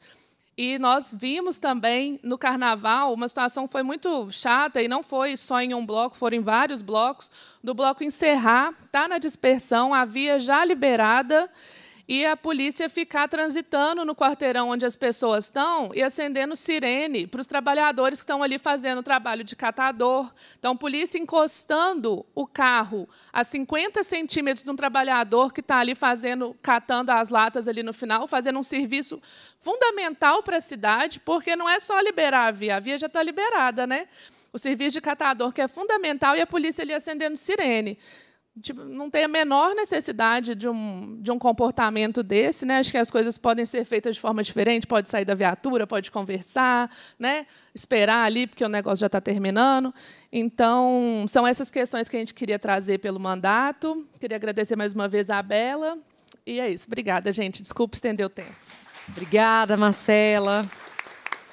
Um abraço nosso para a Isa. É, vou agora passar para a Joseli, para que possa fazer também ali do púlpito. Joseli, que é presidenta do PSOL e que fez também parte da campanha do Não é Não. Boa tarde a todos, a todas e a todos presentes. Primeiramente, queria pedir a benção ao meu pai Joviano, a benção ao meu pai Ricardo, a benção a Gabriel, Mucuyu, quem é de Mucuyu, axé para quem é de axé. Meu nome é Joseli, como já foi falado agora. Estou atualmente como presidente do PSOL Belo Horizonte. E aí, queria agradecer à deputada Bela Gonçalves e a todos aqui à mesa presente, que eu acho muito importante e necessário ah, a discussão né, para pensar a construção de uma política pública para o Carnaval. E a gente fala, como todos aqui já antecederam, falaram que a luta do Carnaval ela é uma luta comunitária, ela é uma luta do povo com o povo para o povo. Eu fico aqui lembrando, né, eu sou cria da Pedreira Prado Lopes, da PPL, e ali, há uns anos, há mais ou menos cinco anos de idade, quando eu tinha, é, a gente construía né, as, as roupas, as fantasias para a escola Unidos do Guarani. E sim, até mandei mensagem para o Gleison, que é um dos presidentes da Escola de Samba Unidos do Guarani, que fazem falta aqui na mesa presente. E esse ano, é, nesse trabalho, enquanto também presidente do PSOL, fazendo esse processo muito importante né, de uma política para pensar ao não assédio das, de nós mulheres, é, circulei, em média, quase 30, seja blocos, e também passei algumas escolas de samba. E queria iniciar minha fala fazendo essa lembrança de quando é, na infância, na pedreira, a gente ficava ali costurando aquelas fantasias que eram os é, retalhos né, das nossas vozes, os retalhos que vinha também do Rio de Janeiro e São Paulo, e aí entendendo que o fruto da, da, do carnaval, ele sempre também se deu nas favelas, nas periferias. Então, é um fruto que também é sempre... É, a gente tem que lembrar de quem veio antes, né, que quando a gente fala sobre os nossos passos, vem de longe. Então, a Unidos Guarani, que foi uma das primeiras escolas de samba aqui, né, em Belo Horizonte, de 60 anos, esse ano eu fui é, desfilar inconjuntamente, e aí dizer também, né, ah, ali dizer do, do, de como é, de como é estar fazendo parte desse desfile também, é, que é um pouco muito desassistido. A maioria das, com, das comunidades, das escolas de samba ficam ali até 4 horas, 5 horas da manhã, mal com água para beber. Enquanto isso, tem também um camarim ao lado, que tem todas é, é, comidas e bebidas. Então, como que a gente também pode pensar é, numa infraestrutura para as escolas de samba que estão desfilando ali, que fica a noite inteira, que mal, mal tem condições de colocar o seu, a sua escola de samba para colocar na Afonso Pena. Então, eu já começo fazendo essa crítica no sentido desde o processo da alimentação, desde o processo é, de, de, acompanhamento nos barracões, nas favelas, que é o lugar do que a gente fala, né, que é esse é nosso lugar. E aí até dando um salve, né, que para dizer dessa importância também que hoje se a gente tem essa construção é que é forte, que é do povo na cidade. Então a gente fala que a, a, o carnaval é da cidade, é com a cidade, mas também dizendo tudo que já foi falado é, com relação aos descasos e também a falta de orçamento, a falta de dinheiro mesmo, né, para que as, a, o carnaval ficasse mais ainda bonito do que ele está. É, nesse ano, a gente fez, enquanto pessoal, pessoal né, nacional, uma campanha muito importante, junto com o Setorial de Mulheres, que é se pedir para parar, se ela pediu para parar, parou. Que é o não é não. A gente entende muito importante sobre o processo do assédio, né? E aí foi uma luta também das redes de mulheres, das da, é, de grupos de mulheres, como o 8M, um processo de formação e de educação sobre o assédio é, no Carnaval, seja em qualquer época do ano. Esse ano foi algo muito positivo, no sentido que nós encontramos vários companheiras e companheiros, assim como do PSOL, como outros partidos, que colocaram o, o projeto na rua e colocaram o seu corpo na rua para um processo processo também de combate ao, acesso, ao assédio ao nosso corpo, de combate à importunação sexual. Então, fomos para a rua com o nosso leque, é, conversamos, dialogamos, e a gente faz o teste do pescoço. Né? Eu faço o teste do pescoço, como agora. Eu faço o teste do pescoço. Fazem o teste do pescoço. Né? Fazer o teste do pescoço é quando a gente dá uma olhada e vê quais são os corpos que ainda estão ocupando e ocupam a gestão pública de Belo Horizonte, de Minas Gerais e do Brasil. Quem está à frente para falar dos nossos corpos e das nossas corpas? Quando falo do carnaval, carnaval, a primeira coisa quando eu cheguei em Portugal foi é, as pessoas olharem para mim e falar, não boa tarde ou boa noite, mas dizer, carnaval, mulata, você samba? Porque ainda está colocado os nossos corpos, corpos de mulheres negras, esse lugar ainda como só, vocês são só feitas para dançar. Né? Nesse lugar muito ainda de desvalorização também intelectual, aonde que a gente pode ocupar também esses espaços. E aí, quando as nossas companheiras do Recicle, quando os nossos companheiros amigos Camelô, é, vão falar do carnaval, muitas foliões vieram pular carnaval. Mas a gente também fez o teste do pescoço, várias mulheres, mulheres negras, trabalhadoras, com seus filhos, três, quatro filhos, empurrando seus carrinhos com condições muito precárias. E essa precariedade, a gente ainda fala do nosso corpo preto, que é esse corpo preto de mulheres que ainda está nesse lugar de submissão, de empurrar a caixa. E não estou dizendo que seja ruim. E não estou dizendo que seja ruim também o trabalho de reciclagem, mas a gente também precisa de estar em outros lugares de poder. Porque é preciso também que a gente esteja também catando os papéis, mas que as pessoas não olhem só para a gente nesse lugar que a gente fala que é afeto seletivo. Precisamos de construir políticas públicas. E o carnaval é uma política pública. Precisamos de sentar junto com a DEPIR, que é a Secretaria é, de Igualdade Racial e colocar dinheiro. Não adianta ter só uma gestão sem recurso. Então, assim, chamar para um planejamento o ano inteiro com recurso, seja emenda parlamentar, nossa companheira, tanto Bela quanto Isa, quanto é, Cida Lourenço, que é do nosso partido, sempre está ali também incentivando para uma luta e um processo de letramento racial. Nós só vamos acabar com a desigualdade do Brasil quando realmente entendermos que há também o processo estrutural e estruturante do racismo. Ainda existe corpos e corpos que, sim, só ficam limpos limpando é, a rua, e isso não é algo ruim, que é um trabalho digno, mas precisamos também de tirar e sair desse lugar. Então, nosso trabalho que nós fizemos enquanto pessoal foi para a rua, é ir na rua, comunicar com o povo, falar para o povo, fazer essa circulação, fazer o giro e a gira que é necessária, mas também precisamos de ocupar esses lugares. Precisamos de ter outras pessoas também sentando nesses lugares com os nossos corpos, com as nossas histórias, porque falam das nossas favelas, mas nós não estamos nesses lugares sentados aqui para construir políticas públicas do nosso jeito, da nossa forma, porque é isso. Todo mundo falou. Fala, coloca a, a, o carnaval na nossa mão, a gente entrega, entrega de, de, bom grado. O nosso pai Joviano, que foi ali sem um real, sem um investimento, foi os filhos de santos que ajudaram, seja com a água, seja empurrando o carrinho, seja emprestando o carro, mas o, mas o bloco saiu. Porque é isso, a gente nunca perde a esperança de que a gente possa galgar lugares diferentes e oportunidades, é, é, e oportunidades que, que é que nos falta. Então, obrigada, deputada Bela, todos aqui presentes também. É importante a gente pensar numa política pública de igualdade racial porque quando a gente pensa na política pública de uma igualdade racial, a gente realmente mexe na estrutura e, literalmente, quando uma mulher preta ela avança, toda a sociedade avança junto com ela. Então, se a gente ocupa esses lugares e precisamos ainda de falar desses lugares, que é isso. Então, faltou também, eu acho que esse ano, assim como a gente incentivou e teve um avanço é, na política pública do não é não, do não assédio, então também queria um retorno aqui é, é, das pessoas, seja da prefeitura e também da, da, do Estado, com relação a alguns índices e também teve um, é, um, uma, um, local de apoio que foi na Praça da Liberdade para qualquer mulher que se sentisse é, com, é, que tivesse né, algum, fosse assediada. Então teve aquele espaço ali de acolhimento. Então queria um retorno de se teve algum número, como que foi também a, a abordagem e também a forma de acolhimento dessas mulheres, caso for, caso tivesse, né, chegou a, a, a alguma denúncia. E aí a gente pensar mesmo com alguns encaminhamentos de processos mesmos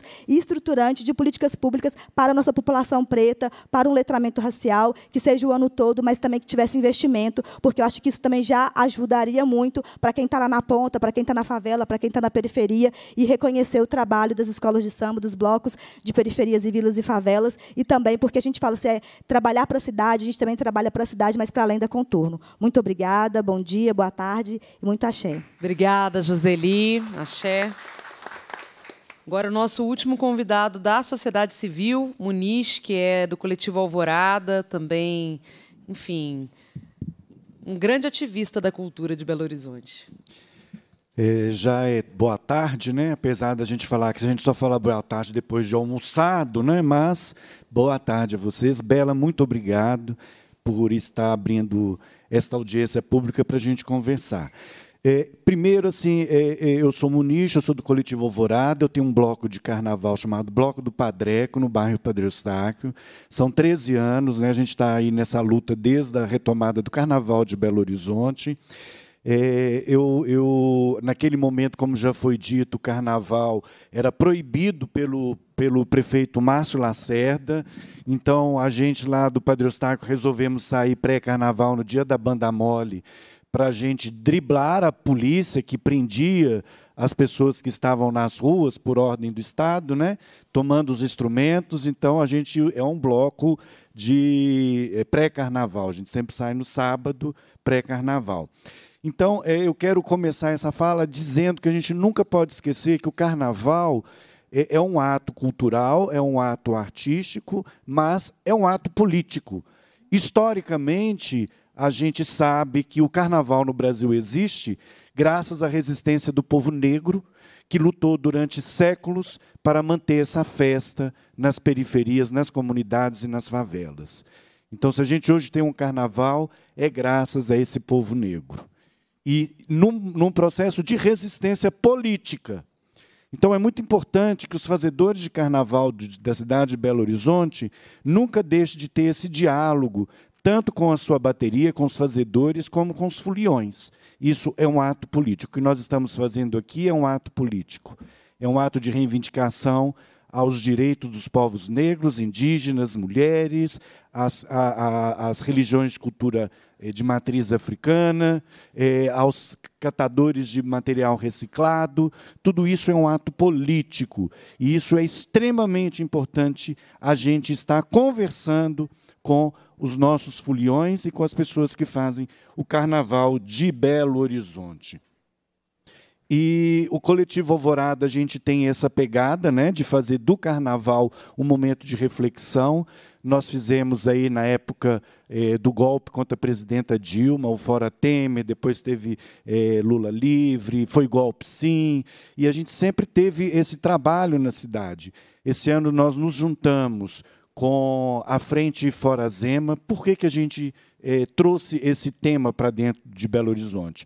Nós percebemos, Bela, que o, o, governador Zema, apesar dos seus cinco anos de mandato, nunca ter apoiado o Carnaval de Belo Horizonte, depois da ação vergonhosa que foi o Conselho Estadual de Cultura de Belo Horizonte, onde eu estava presente, aonde foi feito de tudo para que a gente não tivesse é, representatividade no encontro nacional, depois de dez anos sem conferências, porque desde quando aconteceu o golpe, todas as conferências de cultura foram suspensas nesse país.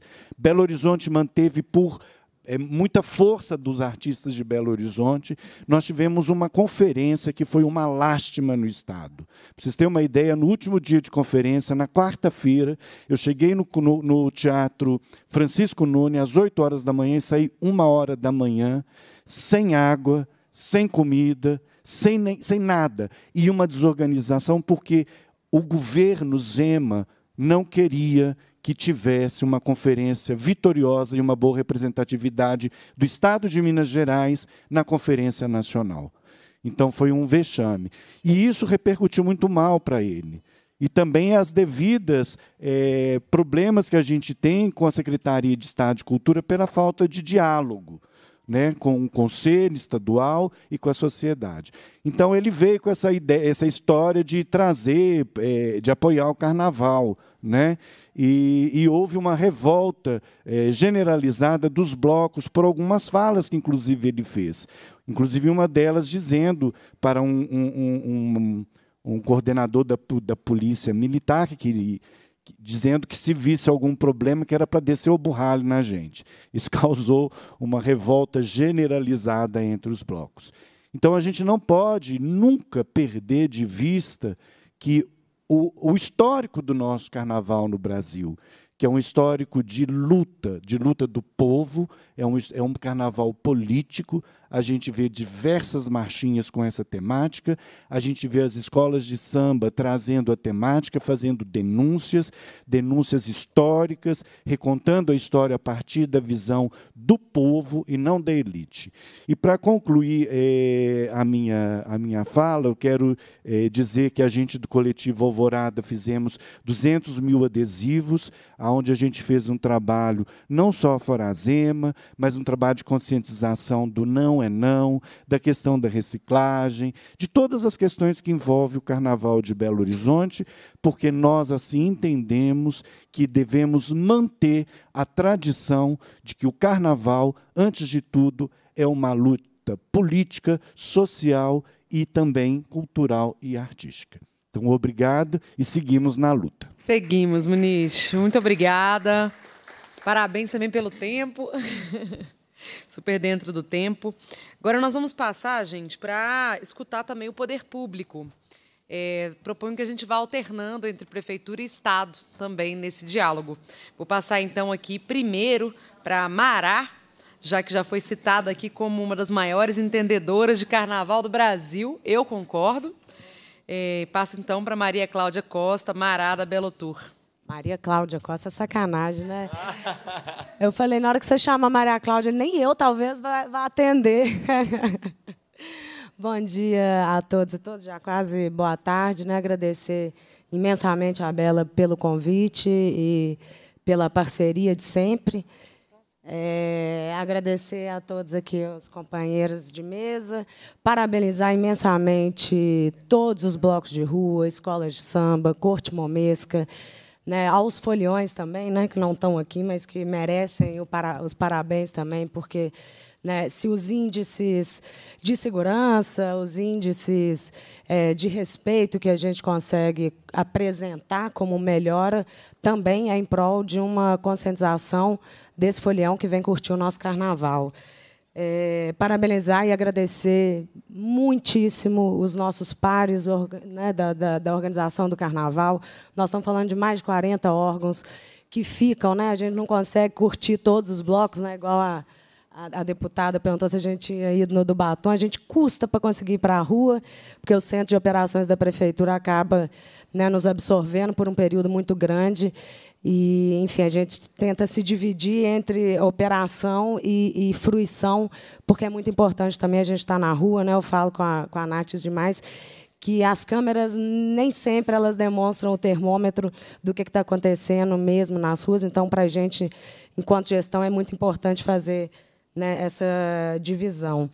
É, eu, né, o Gu falou um pouco, assim, e o que eu achei mais importante que eu também estava desde o início assim, gente, teve o trabalho do GT, o trabalho do GT, que assim é um documento que inclusive ele precisa rodar mais, porque a partir de uma parceria, né, a gente levantou dados assim é, é, de, desde 2016, 2017, é, é, mas os que já têm mais né, solidez ali de 2015 em diante, sei lá, que, que começa realmente a demonstrar o que, que é esse crescimento desse carnaval. Né?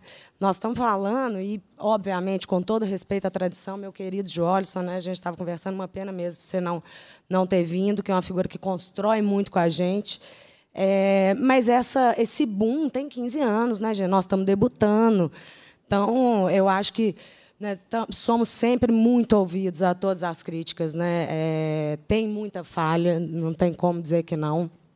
É, mas a gente também tem que ter um pouquinho essa consciência de que nós estamos crescendo, né? que, a partir da visibilidade que esse carnaval vem tomando, né, as disputas são cada vez maiores disputas de narrativa, disputas políticas enfim, são, são muitas na mesa, é, e eu acho que locais como esse e vários outros que a gente precisa instituir com uma comissão permanente mesmo para debater esse carnaval, que aí é isso, todo mundo fala que carnaval tem que ser discutido o ano inteiro. Várias vezes a gente chama para seminário, para bate-papo, para não sei o quê, não aparece ninguém. É, então, eu acho que é importante também. Né, encontrei muito com a Mari esse ano, em vários locais de debate e de discussão com relação ao carnaval, e que muitas vezes a gente estava enquanto poder público e, às vezes, ela sozinha em, algum, em alguns momentos. Então, né, eu acho que fala-se desse carnaval ao, ao, longo do ano, mas é importante também né, que essas é, é, participações elas sejam concretizadas ao longo do ano. É, acontece muitas vezes a gente ser chamado para audiência faltando uma semana e aí chega um tanto de demanda e fala, gente, sério? Né? Assim, é, é, nós temos que ter, nós temos que ter, entender né? a complexidade que nós estamos falando. E aí, aqui não tem, mas a gente dialoga com a associação de morador o ano inteiro, a associação de comerciante, associação de bares e restaurantes.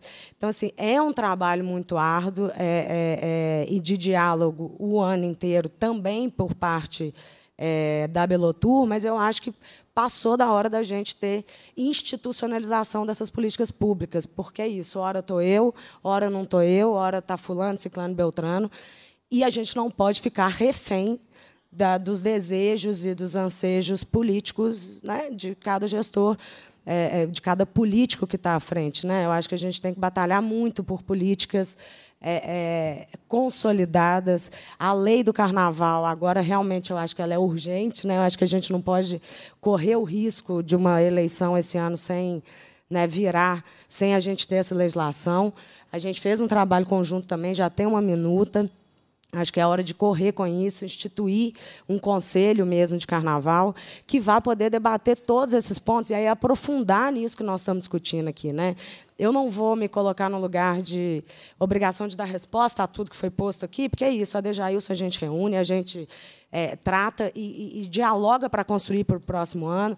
Os blocos idem, né? assim, nós estamos sempre à disposição. Eu falo, às vezes a gente sai de um evento e acaba sendo atolado em outro já agora, que é o Arraial de Belo Horizonte. É, acho que a, a Prefeitura Belo Tour precisa mesmo entender que a, a, virada de chave desse carnaval agora, gente, é, é uma diretoria de carnaval que tem que ter. Não adianta achar que a gente ali na diretoria de eventos com a, a, a gente tem funcionários incríveis, mas a gente não dá conta. Não dá conta. É, é pequena a estrutura para o tamanho do trabalho é, que a cidade merece, que os blocos merecem. Né? Então, eu acho que realmente passou da, da, da, hora agora da gente institucionalizar mesmo, enquanto política pública, e aprimorar esses processos né, lá dentro da Belotur. Quando a gente foi passando os materiais, assim, aí eu depois fui lendo da, da Câmara, assim, os gráficos são todos assim. E é claro que tem muita coisa para melhorar, mas nós estamos falando que a gente saiu de 2017, eram quatro escolas de samba, com um valor de subvenção de 350 mil reais. E a gente entrega agora, em 2024, 12 escolas de samba com valor de subvenção de mais de 2 milhões e meio. Então, assim, é, é, é um salto imenso né, de bloco de rua, se a gente for falar assim. Era 300 mil o edital, o primeiro, em 2017. Hoje o edital tem 1 milhão e 600. É pouco? É pouco. Né? Eu acho que a gente tem que começar a entender que a gente sempre tratou todos os blocos é, não, não, é todo tratativo igual, o edital é único. Não, gente, a gente precisa entender que o igual igual, o diferente diferente, né? e talvez setorizar o, o, o edital de fomento da Belotur para poder ter uma categoria, porque é óbvio, o, o, que o Brilha demanda, o que o síndico demanda, o que os grandes blocos demandam de estrutura para botar na rua, realmente precisam de, de um olhar diferenciado. É, um, tem vários blocos, inclusive o edital do Belotura é engraçado, a gente sempre vê.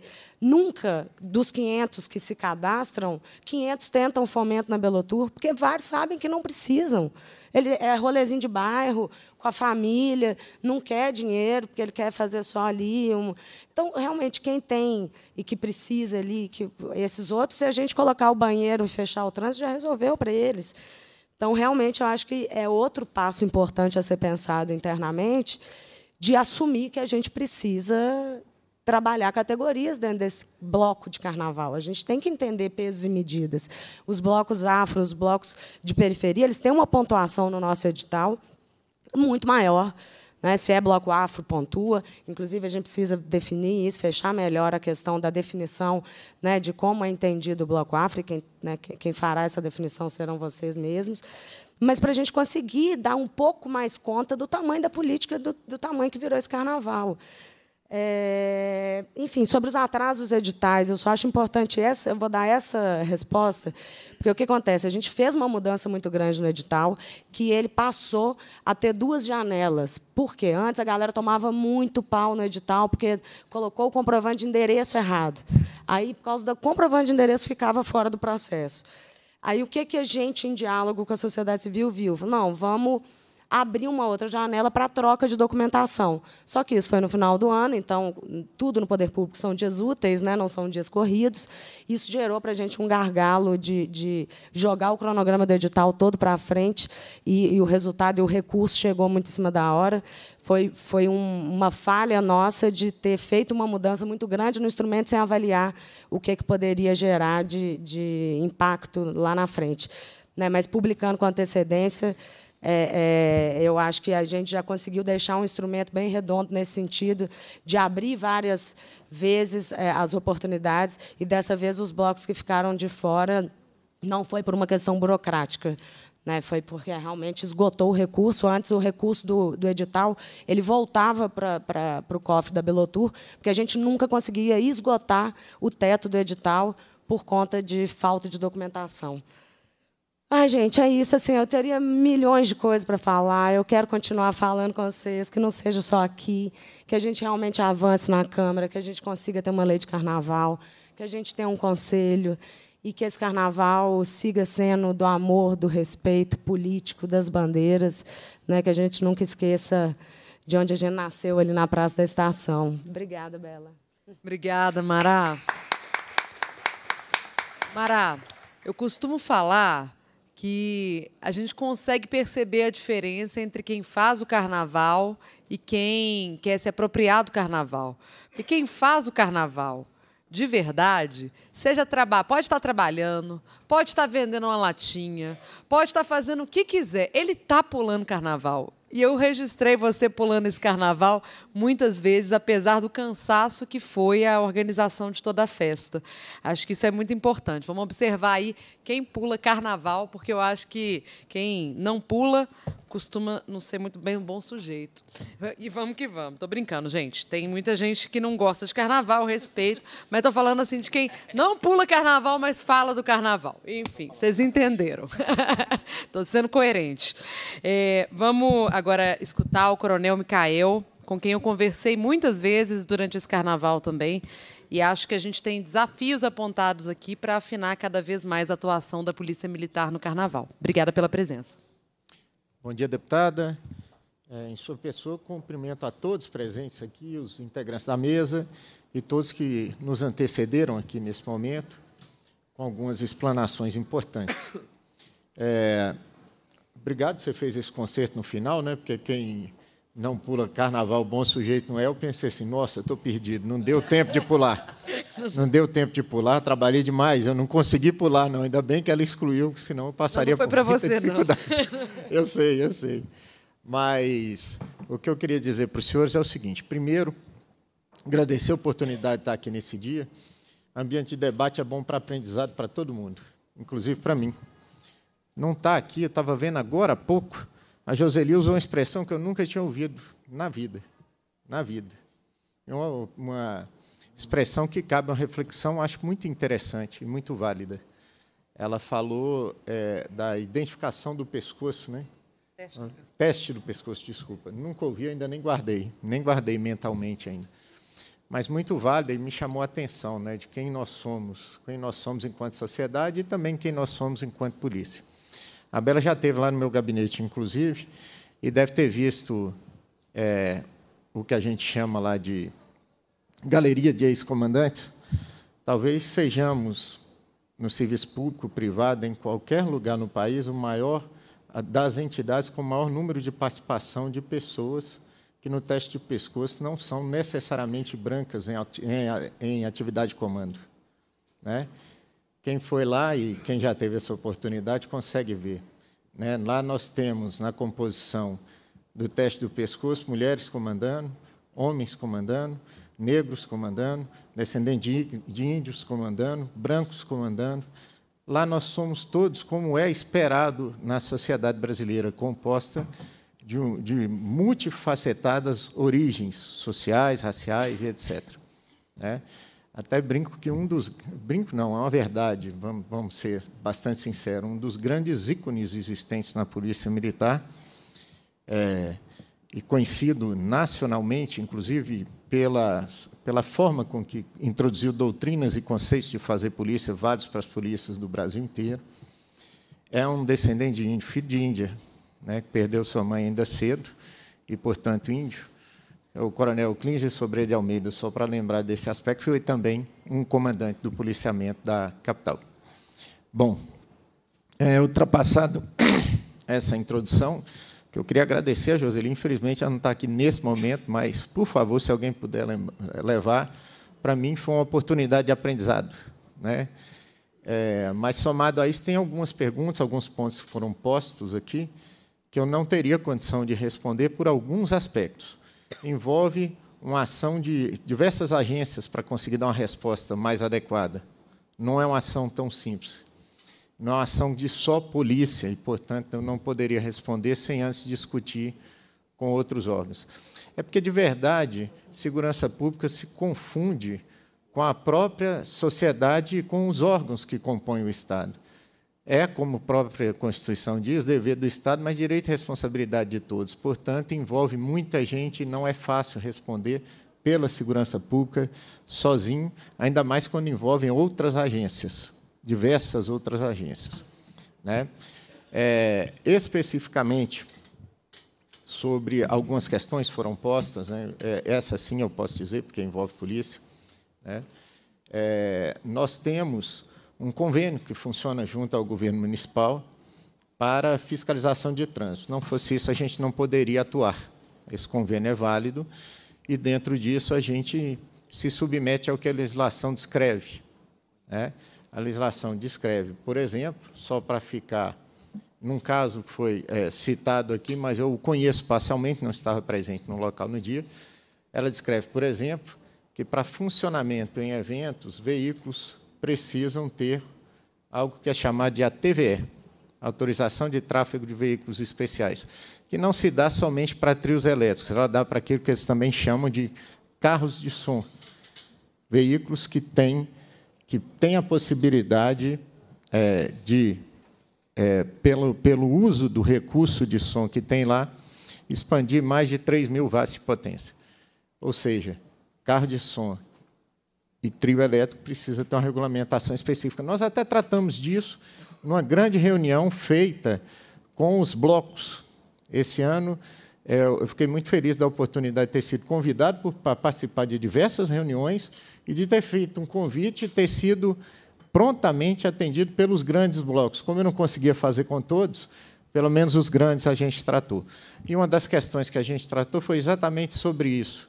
Existe é, a necessidade de fiscalização que nós não podemos nos furtar de fazê-la, porque há um convênio e uma determinação legal. Né? É, Para ficar num caso concreto, foi citado aqui, a solução foi muito simples e rápida. E rápida. O policial militar fez a fiscalização e, percebendo a possibilidade de uma solução pacífica e permitir a saída do bloco sem nenhum embaraço, a não ser que, bloco, por favor, Dê uma olhada nisso, que aí você vai estar de acordo com a legislação e, portanto, você vai sair tranquilo. O que é que eles fizeram? Tinham diversas caixas ligadas, num carro de som, e ali era um carro de som, sim, não era um trio elétrico, era um carro de som, por extrapolar a capacidade de 3 mil watts, e a solução foi muito simples. Foi até de um sargento do batalhão de trânsito que estava lá presente, ele, ele pelo menos foi o que me chegou, é, o pessoal que estava lá naquele momento pode me corrigir se acaso eu tiver alguma falha aqui. A solução apontada por o sargento foi simples. Por favor, desligue somente uma dessas caixas, você vai ter menos de 3, watts, 3 mil watts de potência. Você vai sair, eu não vou te causar embaraço, eu não vou rebocar esse carro, ele não vai ser apreendido, a solução está posta. Só não pode sair para além do que a legislação prevê. Eu entendo isso por um uso da razoabilidade para dar uma solução legal e que atingiu a todo mundo que estava interessado naquele bloco, é, naquele momento. Né? É, eu sei que tem pessoas que estavam lá pela descrição de onde foram os blocos e tudo mais. Se eu tiver enganado, por favor, me ajude a fazer essa correção, que foram os dados que chegaram para mim. Bom, a outra questão é que fazer polícia envolve uma série de estratégias, gente. E diferente do que muitos querem fazer pensar, na verdade, polícia militar e polícia ostensiva de prevenção criminal e de preservação da ordem pública. Dentro da preservação da ordem pública, que é um guarda-chuva enorme, enorme, é, e assim até de difícil é, descrição, uma série de circunstâncias acontecem. A boa fluidez do trânsito é preservação da ordem pública, né? a não ocupação de via de maneira irregular e preservação da ordem pública. E uma série de coisas é preservação da ordem pública, para além de fazer prevenção criminal e, eventualmente, repressão. Né? Dentro desses desafios, uma série de circunstâncias que a gente age, para as pessoas que às vezes não conhecem da função, inclusive constitucional, com maior profundidade da gente, parece não ser de polícia, mas o é. Mas o é e algumas medidas que nós tomamos, nós tomamos inclusive para o bem-estar da coletividade. E, às vezes, quem não é, é do, do, do, do, ramo do conhecimento, ou não tem uma, uma habilidade com a, com a, questão da segurança pública, é, às vezes não tem esse conhecimento. E aí a gente compreende, assim, falta explicar coisa que a gente fez bem tentou fazer o melhor possível no, no, encontro dos grandes blocos, explicando algumas limitações, por que, que a gente faz isso, por que, que a gente faz aquilo. Alguns pontos foram tratados aqui agora há pouco, por exemplo. A gente já tratou nos grandes blocos explicando por que, que existe aquele tipo de comportamento. Somado a isso, é, nós temos uma regulação que não é nossa, mas que a gente concorda plenamente, uma regulação municipal de tempo de duração de blocos e de tempo destinado à comercialização de produtos que são fiscalizados pela fiscalização da prefeitura. Né? Tem um tempo determinado. E por que, que ele tem? ele tem, eu imagino, pela incapacidade de permanecer com duração ininterrupta de blocos funcionando. Incapacidade do Estado de acolher isso, o Estado, e aí eu quero dizer o município, o Estado, a própria União, todos, o Estado como um todo, de dar condição de segurança e de conforto para essas pessoas se os blocos não acabam. Né? Os próprios é, membros de blocos, diretorias de bloco, concordam com isso. Existe um prazo razoável, mas para isso tem também os demais envolvidos e que são interessados. Nós temos ambulantes, nós temos pessoas que têm interesse em venda e tudo mais, mas há uma regulamentação para que aquilo tenha um prazo razoável. Pra, só para ficar claro para os senhores, em média, os blocos em Belo Horizonte, se eu estiver enganado, a Mara me corrige, eles são licenciados para um funcionamento de seis horas, o que para nós equivale a dizer que eu tenho que estar lá pelo menos uma hora antes para a concentração e que vou estar lá mais duas horas depois, dependendo do tamanho do bloco, três horas depois para dispersão. Né? Por uma soma rápida daqui que eu acabei de escrever, isso quer dizer que eu tenho um homem em pé trabalhando dez horas, armado, equipado, pronto e etc. Se não tem limite para fazer isso em seis dias, no meio do caminho eu não vou ter gente para trabalhar. Não tem condição física de fazer isso. Né? Não é só para nós, é para todo mundo que está envolvido. Então a gente precisa naturalmente, a cidade também precisa naturalmente, que tenha uma alimentação temporal para o funcionamento dos blocos, para a venda de produtos e tudo mais, para que no outro dia a gente tenha condição de fazer o carnaval ser o que ele foi reconhecido esse ano e aí não é autolouvação, gostaria de pontuar aqui, longe de ser autolouvação, foi reconhecido e avaliado pelos furiões como um carnaval de referência de segurança também, que volta a dizer, quando estou dizendo isso, não estou fazendo autolouvação para dizer que isso aconteceu por causa da PM, aconteceu também por causa dela. Também por causa dela. Já que segurança se faz com todos nós trabalhando unidos. Né?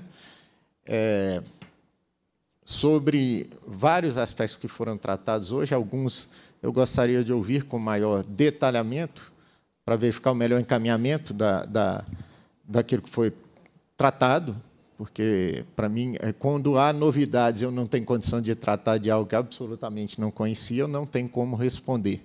Né? E aí cabe um devido encaminhamento, encaminhamento para, para, para as providências que vierem. Né? Então é isso. Acredito que a soma de todos vocês e de nós, poder público, na realização do Carnaval de Belo Horizonte, faz o Carnaval de Belo Horizonte ser o que é, na sua grandeza, na sua expressão, no seu reconhecimento.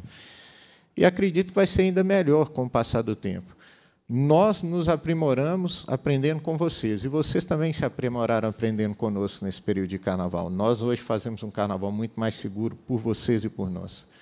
E isso, para mim, é uma alegria muito grande de estar dividindo com vocês esse reconhecimento. Né? Joseli, me desculpe, você não estava presente, mas muito obrigado pelo aprendizado na data de hoje, pelo ensinamento que você me deu. É isso. É, e permaneço à disposição, sempre pronto para participar de debates, reuniões, tudo que for preciso para a gente aprimorar e fazer esse carnaval melhor. Obrigada, Coronel Micael considero que, de fato, e eu acho que conversando com os blocos, né, que o fato da Polícia Militar ter convocado uma reunião, buscado estabelecer algum grau de diálogo, é um passo importante para que a gente tenha um carnaval com mais segurança pública. É, no passado, quando o carnaval recomeçou, né? Teve o, novo boom do carnaval, que agora vai completar 15 anos.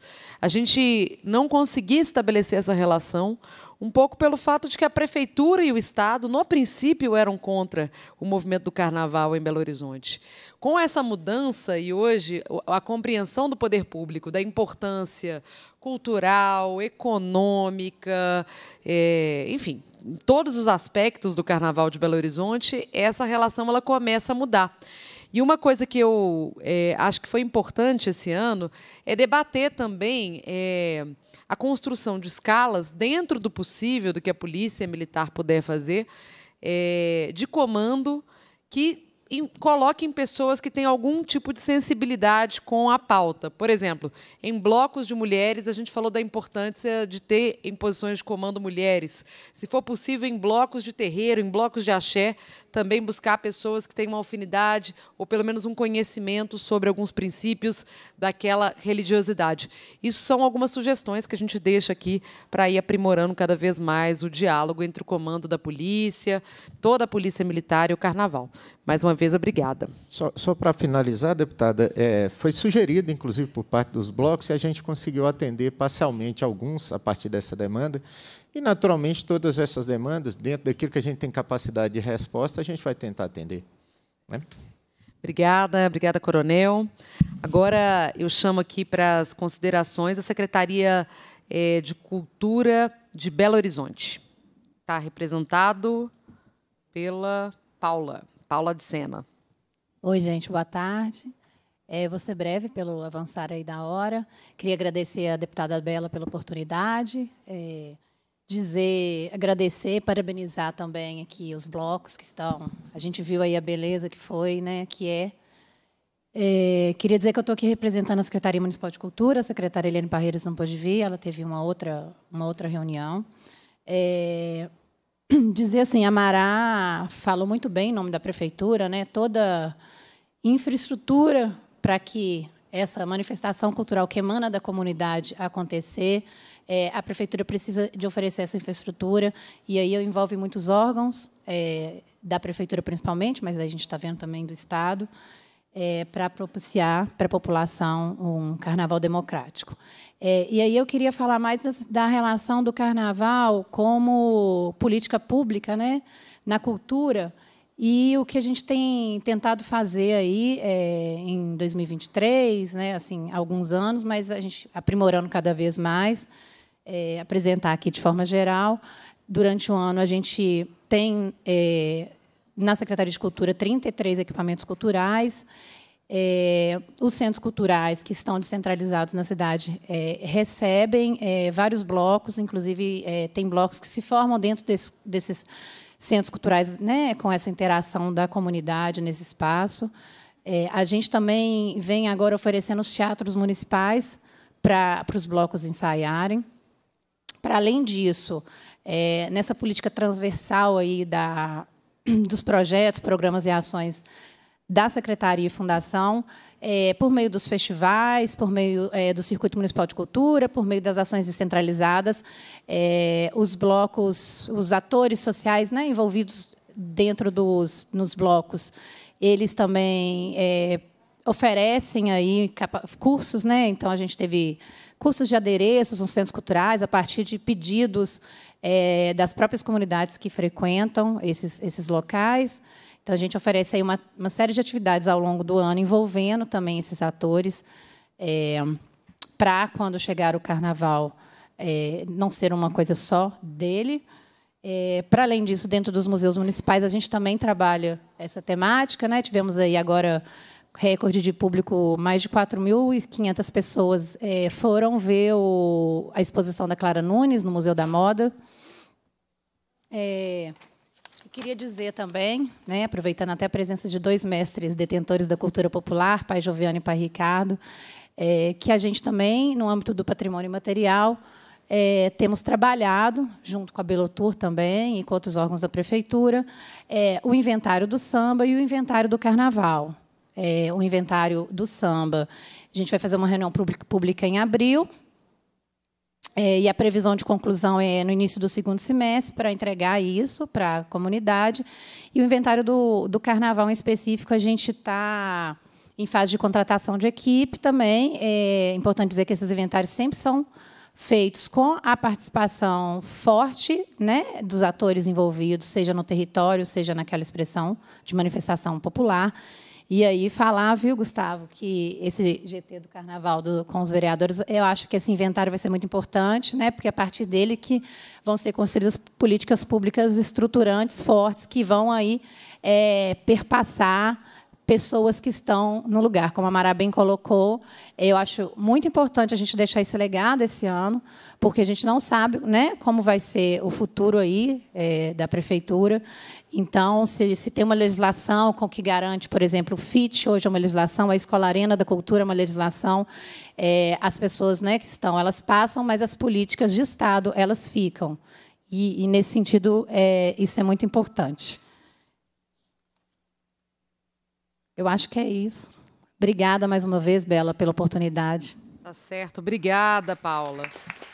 A gente conta muito com a Secretaria de Cultura para que a gente consiga desenvolver, de fato, uma política estrutural durante todo o ano. Né? É, acho que é basicamente isso. Mari colocou muito bem. A gente não quer ser tratado só a partir da lógica do turismo, a gente quer ser tratado a partir da lógica da cultura, e isso é fundamental. Bom, eu queria agora passar para a Emanuele Aparecida de Oliveira, diretora de produtos turísticos da Secult.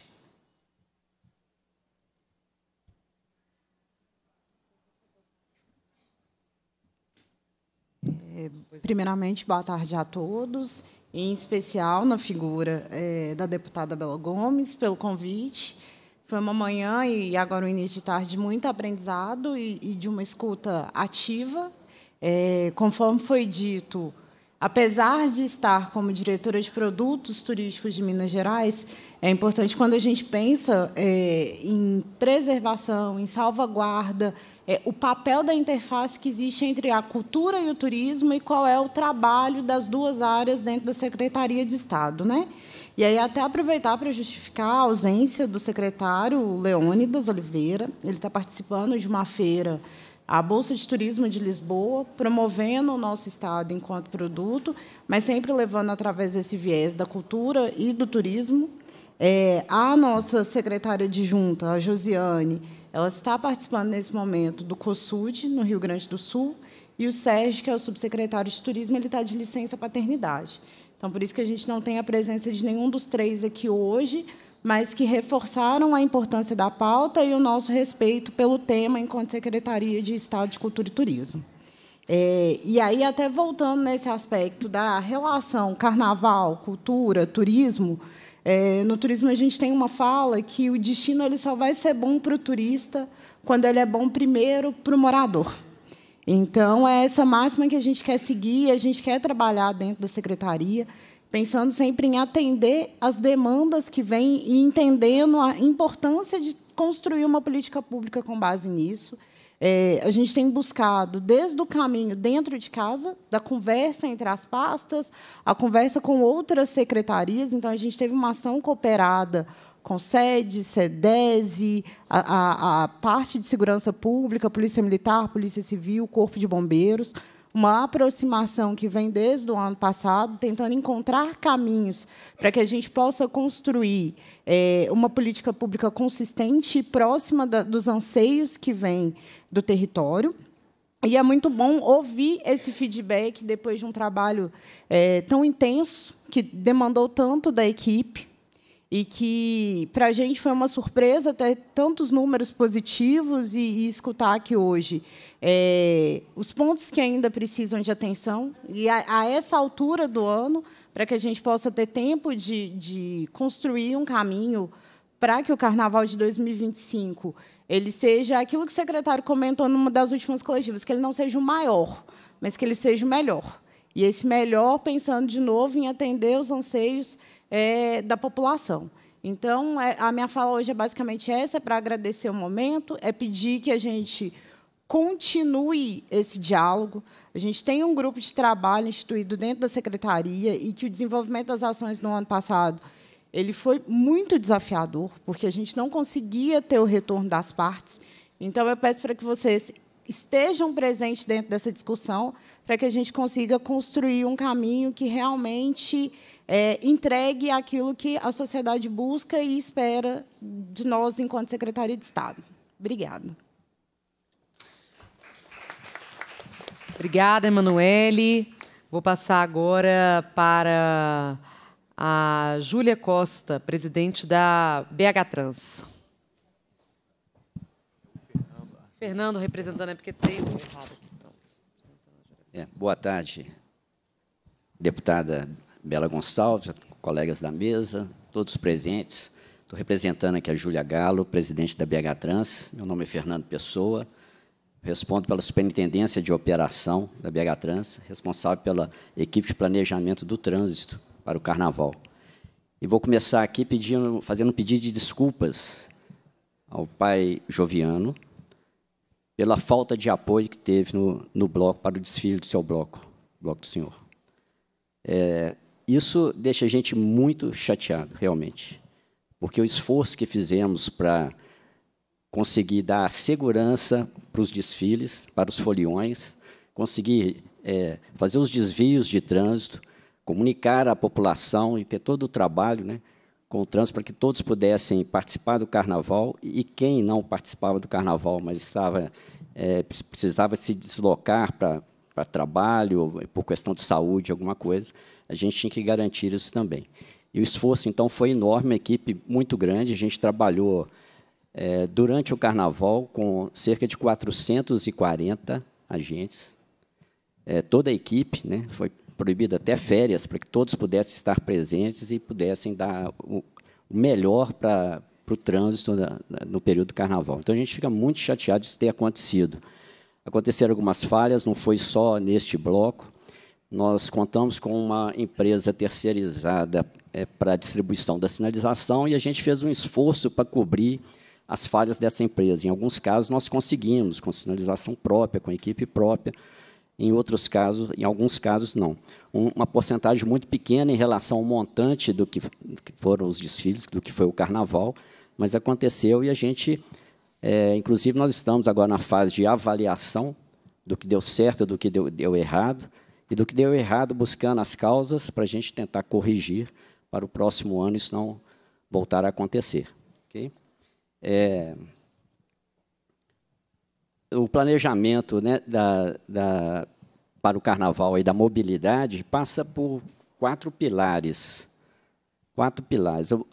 Trans, trânsito, transporte, a parte de logística e a parte de comunicação com os usuários. Ah, na parte de logística, como eu falei, nós contamos aí com 440 é, agentes trabalhando e Contamos também com cerca de 200 apoiadores contratados aí pela Belotur. O trabalho foi feito todo em conjunto com, com a Belotur, com especial, alguns órgãos da Prefeitura e também do Estado, da Prefeitura especialmente aí com a Secretaria de Fiscal, Subsecretaria de Fiscalização, com a SLU, com a, a SUMOB. É bom dizer, é, a questão, por exemplo, do transporte, que é um dos pilares aí, é, foi o planejamento foi todo feito pela Superintendência de Mobilidade, recém-criada na prefeitura. Ela não é mais o transporte não a gestão do transporte não está mais com a BH Trans, está com a Sumob. Então, mas trabalhamos em conjunto, né? É, e no, no, estado trabalhamos em conjunto com a Polícia Militar, com o Corpo de Bombeiros, com também com os órgãos de mobilidade do estado. E então, sim, na questão do, do trânsito, fazendo a gente começa com as reuniões com os blocos, foram mais de 500 reuniões com todos os blocos para definir os locais de concentração, dispersão, os trajetos, para a gente definir. Definimos as áreas de restrição, onde há uma concentração é, maior dos desfiles. Então, foram sete áreas de, de restrição de circulação para deixar os blocos mais, digamos, mais à vontade. E a preocupação né, com os desvios de, dos ônibus, foram mais de 1.400 desvios também realizados, e os acessos às áreas de a área hospitalar, né, os demais postos de saúde aí para ambulâncias, tentando preservar todo o, tra o trajeto também, os acessos a esses equipamentos. Na parte de transporte, como já até foi citado aqui, houve um aumento, foi sempre implantado uma nova rede. Houve esse ano um aumento lá do, da oferta de viagens, é, uma mudança nos quadros de horário. É, feito também aquele é, o ponto fora do ponto, né, foi ampliado o ponto fora do ponto, que as pessoas pudessem tomar ou descer do ônibus em qualquer ponto da cidade. Então, foram algumas medidas assim. E na, no, no pilar de comunicação, é, tentamos fazer o máximo possível difundir a, as mudanças né, relacionadas aí à mobilidade na cidade, com cartazes nos pontos de ônibus desativados, indicando quais, quais pontos foram, eles foram transferidos, indicando é, as, as, mudanças de trajeto dos ônibus, então, é, cartazes dentro dos ônibus, é, pela mídia social, usando o Instagram e o Twitter, um número muito grande de visualizações né, que, que eles tiveram, é, no portal da prefeitura. Então, uma série de, além da, dos banners, é, faixas de pano espalhadas por, por toda a cidade aí, para orientar não só é, motorista, como os, os, os foliões de maneira geral, que é a população de maneira geral. Então, assim, um esforço muito grande. Por isso eu digo que a gente fica chateado quando vê que a gente realmente não conseguimos é, atender 100%. Mas estamos trabalhando e vamos continuar trabalhando arduamente para atingir essa meta. É, muito obrigado a todos. Muito obrigada, Fernando. Um abraço também à secretária Júlia. Ainda não a conheço, quero conhecê-la depois. E é, dizer né, da importância da nobreza também de pedir desculpas pelas falhas. Acho que é, existiram falhas nesse carnaval e cada pessoa que vem aqui é, com essa humildade de pedir desculpas é, é porque está buscando melhorar. Só dizer que a nossa luta, a nossa luta mesmo, é que a gente enfrente esse cenário de terceirizações que a BH Trans tem passado. É preciso novos concursos públicos para que a gente dê conta dos desafios crescentes da mobilidade urbana na nossa cidade. Obrigada pela sua presença e não podia deixar de fazer esse comentário. Passo agora para o Aloísio Daniel, que está aqui representando a chefia da Polícia Civil de Minas Gerais. Boa tarde a todos. É um prazer estar aqui com as senhoras, com os senhores Obrigado, deputada, pela oportunidade, Coronel Micael, que ombreou junto com a Polícia Civil, junto com a Polícia Militar, nesse carnaval em todo o Estado. Dentro desse sistema integrado de segurança pública, eh, nós realizamos, desde o ano passado, pelo menos desde o começo do segundo semestre do ano passado, reuniões na capital e no interior para programarmos o interior da capital, né, o carnaval da capital e o carnaval principalmente das cidades históricas. Foram pelo menos duas centenas de reuniões e nós obtivemos índice né, de qual nós orgulhamos em termos de redução da criminalidade, sabedores também que isso foi um esforço, né, além das forças de segurança, de toda a sociedade que passa a compreender cada vez mais a importância né, de ser um agente é, também de conscientização em relação, principalmente, aos crimes de importunação sexual. No início do ano, nós né, estabelecemos como medida também é, três focos de atuação. Então, a partir de janeiro, a partir do dia 1 de janeiro, desencadeamos algumas operações né, que resultaram aí na prisão de 238 pessoas e no cumprimento de 433 mandados de busca e apreensão, com foco nas ações do Carnaval para trazer a tranquilidade. Focamos basicamente, sucintamente, não apenas, mas focamos né, nos crimes patrimoniais, no consumo e uso de drogas e também nos crimes contra a dignidade sexual, importunação sexual e descumprimento de medidas protetivas. Isso é um aumento em termos de produtividade de 54% em relação a 2023. E dos resultados que nós colhemos né, no Carnaval em Minas Gerais e os reflexos também né, são no Carnaval aqui da capital também, porque todos os índices monitorados tiveram queda. E queria destacar aqui a redução que era uma grande preocupação, o roubo e o furto de celular, de 47% nesses índices, 16% no índice de homicídio e de 36% no índice do, de diminuição nos crimes de, contra, é, de importunação sexual. Além dessas questões da investigação qualificada, nós fizemos um reforço nas unidades policiais. A unidade policial é aquela unidade que é o equipamento público que vai receber o cidadão seja ele vítima, testemunha ou seja o autor do delito. É onde que nós recebemos, né, basicamente é uma das funções, né, entre as inúmeras da Polícia Civil, de receber esse cidadão, ouvir a sua demanda e, em última instância, deliberar sobre a prisão, né, sobre a liberação da pessoa, sobre o arbitramento da fiança ou sobre o recolhimento daquela pessoa para o sistema prisional. Fizemos um reforço na capital e no interior, um reforço efetivo de 1.200 homens, além daquele policiamento ordinário, que é lançado todo dia. Nós reforçamos essas equipes com investigadores, escrivães, delegados de polícia, médico-legistas e peritos criminais, para a gente ter um atendimento adequado, rápido, célere e conseguimos conduzir as investigações também, que é um outro momento né, também de atuação da Polícia Civil, as investigações dos delitos, né, que não tem aquela apresentação imediata do autor e que cabe a nós apurarmos e, e tentar identificar a autoria e as circunstâncias daquele delito. E, em termos de mobilização social, nós, a Polícia Civil durante muito tempo, eh, ficou conhecido como a polícia repressiva, né? É até uma divisão né, lá do Código de Processo Penal, né, que orienta ali a polícia militar né, como uma, uma polícia preventiva e a polícia civil como uma polícia repressiva. Esse conceito né, caiu por terra né, eh, doutrinariamente e especificamente, né, legalmente, com a instituição da lei federal que estabeleceu o Sistema Único de Segurança Pública.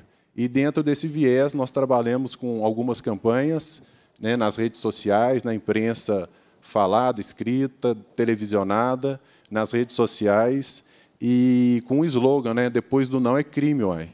justamente para trazer essa conscientização eh, dentro do Estado, para os furiões que estavam vindo de fora do Estado, campanhas no aeroporto de Confins, na rodoviária, eh, destacamos nosso grupo aqui do Departamento Estadual de Proteção, e orientação da família, eh, para orientações direto dentro dos blocos. Né? Alguns blocos acolheram as propostas, né? cederam esse espaço. É um momento importante que a gente acredita que essa conscientização ela é, uma, é uma rotina, né? ela tem que ser feita todo ano, todo dia.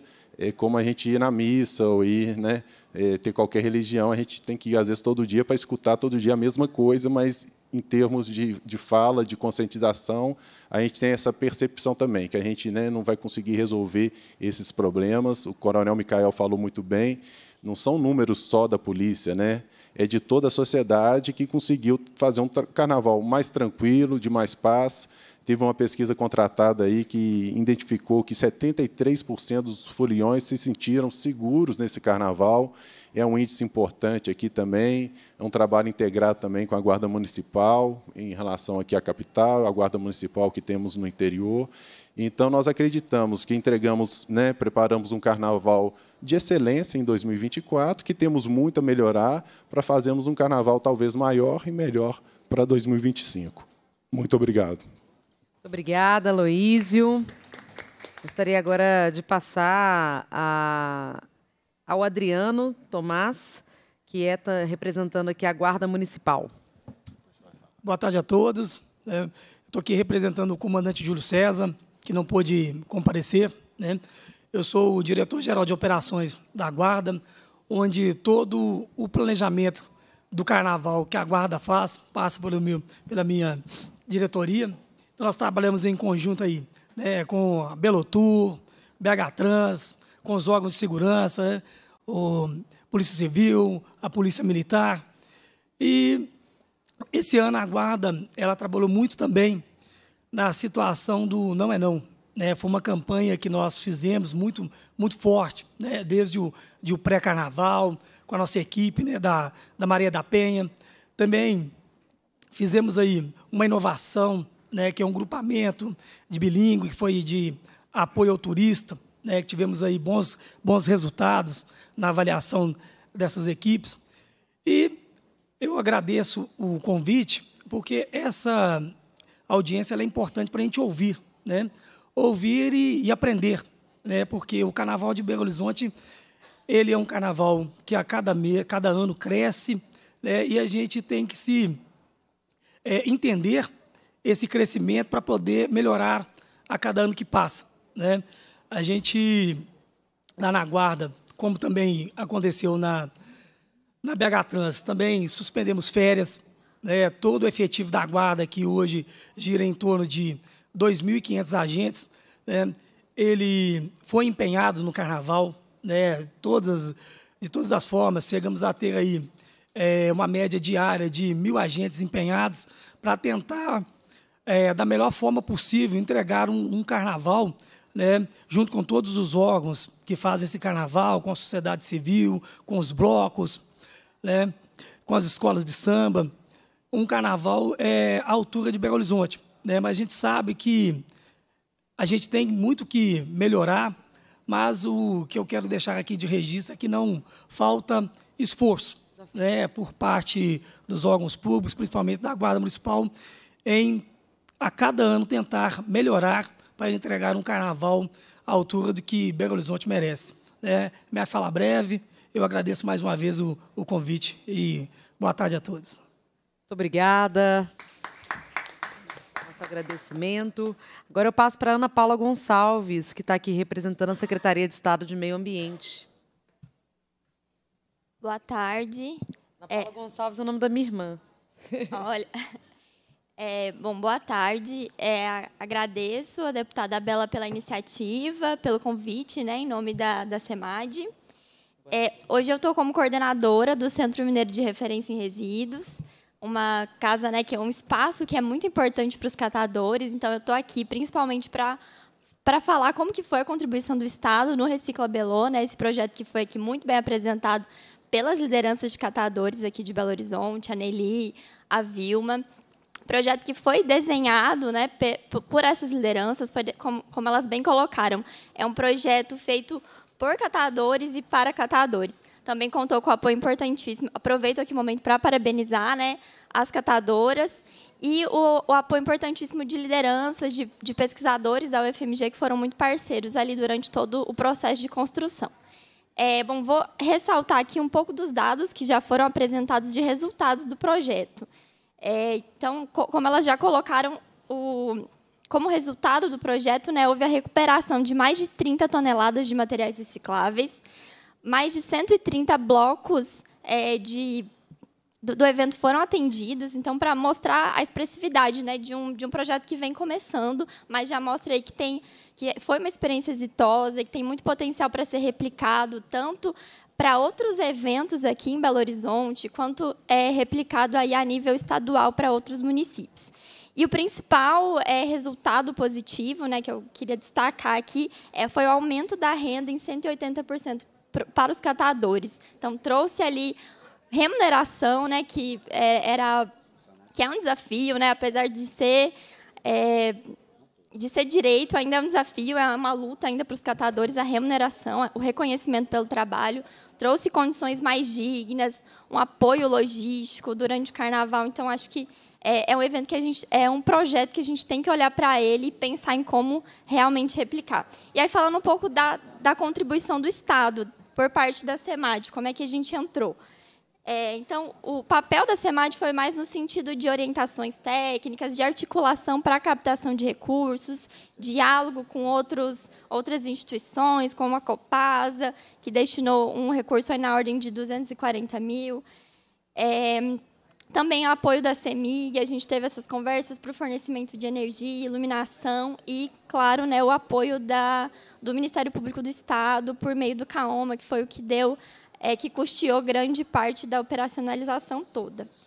Ou então, é, é, eu acho que é mais no sentido de parabenizar os organizadores, né, os donos desse projeto, que são as lideranças de catadores e os parceiros, e nos colocar aqui à disposição para fomentar essa iniciativa, que ela seja realmente replicada em todo o Estado. Obrigada, obrigada, Bela, mais uma vez. Obrigada, Ana Paula. Muito bom ver o Centro Mineiro de Resíduos também reformado, bonito. Quem não foi lá, vale a pena ir, porque tá, tá muito importante. E a iniciativa do Recicla Belô tem que virar uma política para os grandes eventos em todo o estado de Minas Gerais. É isso que a gente espera também. Bom, gente, ufa! Cumprimos a missão da escuta, a missão também da sistematização em ata, é, e construção de encaminhamentos em relação ao Carnaval de Belo Horizonte nesse ano de 2024. Foi um carnaval que atingiu o seu ápice de público até hoje. É, e que ainda apresenta muitos desafios para se tornar um carnaval, é, como é que eu posso dizer, que vai continuar tendo esse sucesso no tempo e possa aperfeiçoar cada vez mais a sua é, a sua forma de realização. Eu participo do carnaval é, desde o início, nesses 15 anos em que ele está debutando. É, ajudei a construir o carnaval em alguns lugares, como nas ocupações urbanas. É, adoro o carnaval e sei que o carnaval de Belo Horizonte ele é um carnaval político. Ele vai falando contra a violência é, que as mulheres sofrem, contra a discriminação de pessoas LGBTs, pelo meio ambiente. Ele vai discutindo contra a apropriação da cultura também, porque os fazedores de cultura não querem ver a lei de incentivo é, transformada né, em uma lei que vai gerar campanha política, ela é uma relação direta entre empresas e é, os setores, os produtores de cultura, os fazedores de cultura, e assim deve ser. O papel do poder público é facilitar isso, é garantir com que isso chegue na ponta da melhor forma possível. E esse é o nosso desejo, né? Por fim, eu queria dizer que o Carnaval, embora esteja no seu ápice, ele hoje está ameaçado. Ele está ameaçado tanto por aqueles que não querem o Carnaval, que se posicionam contrários ao Carnaval, e isso não é uma realidade distante. A gente viu um antigo presidente, antigo e longínquo, talvez hoje inelegível presidente, se manifestar muitas vezes contra o carnaval. E esse ano a disputa das cidades vai também determinar o futuro do carnaval de Belo Horizonte. Há quem queira se apropriar do carnaval, dizer que o carnaval é seu. Mas há também quem queira trabalhar e fazer com que o carnaval aconteça. Essa mesa aqui foi composta por fazedores de cultura, ambulantes, catadores, mas também gestores públicos que querem que o carnaval aconteça e, para isso, a gente precisa avançar na construção dessa política do carnaval com muito diálogo e escuta de todas as pessoas. Que bom que vai ter esse novo debate na Câmara Municipal. Quero estar presente, porque eu acho que lá é um espaço muito importante para que a gente avance nessa discussão e construa uma lei municipal do carnaval que possa consolidar todos esses entendimentos que a gente vem acumulando todos esses anos. O povo de Belo Horizonte tem muito brilho, nosso carnaval é muito brilhante e a gente quer brilhar o ano inteiro. Por isso a política do carnaval é tão especial. Queria agradecer pela presença de todas as pessoas e é isso, nos encontramos nas lutas desse ano. Viva o carnaval de luta!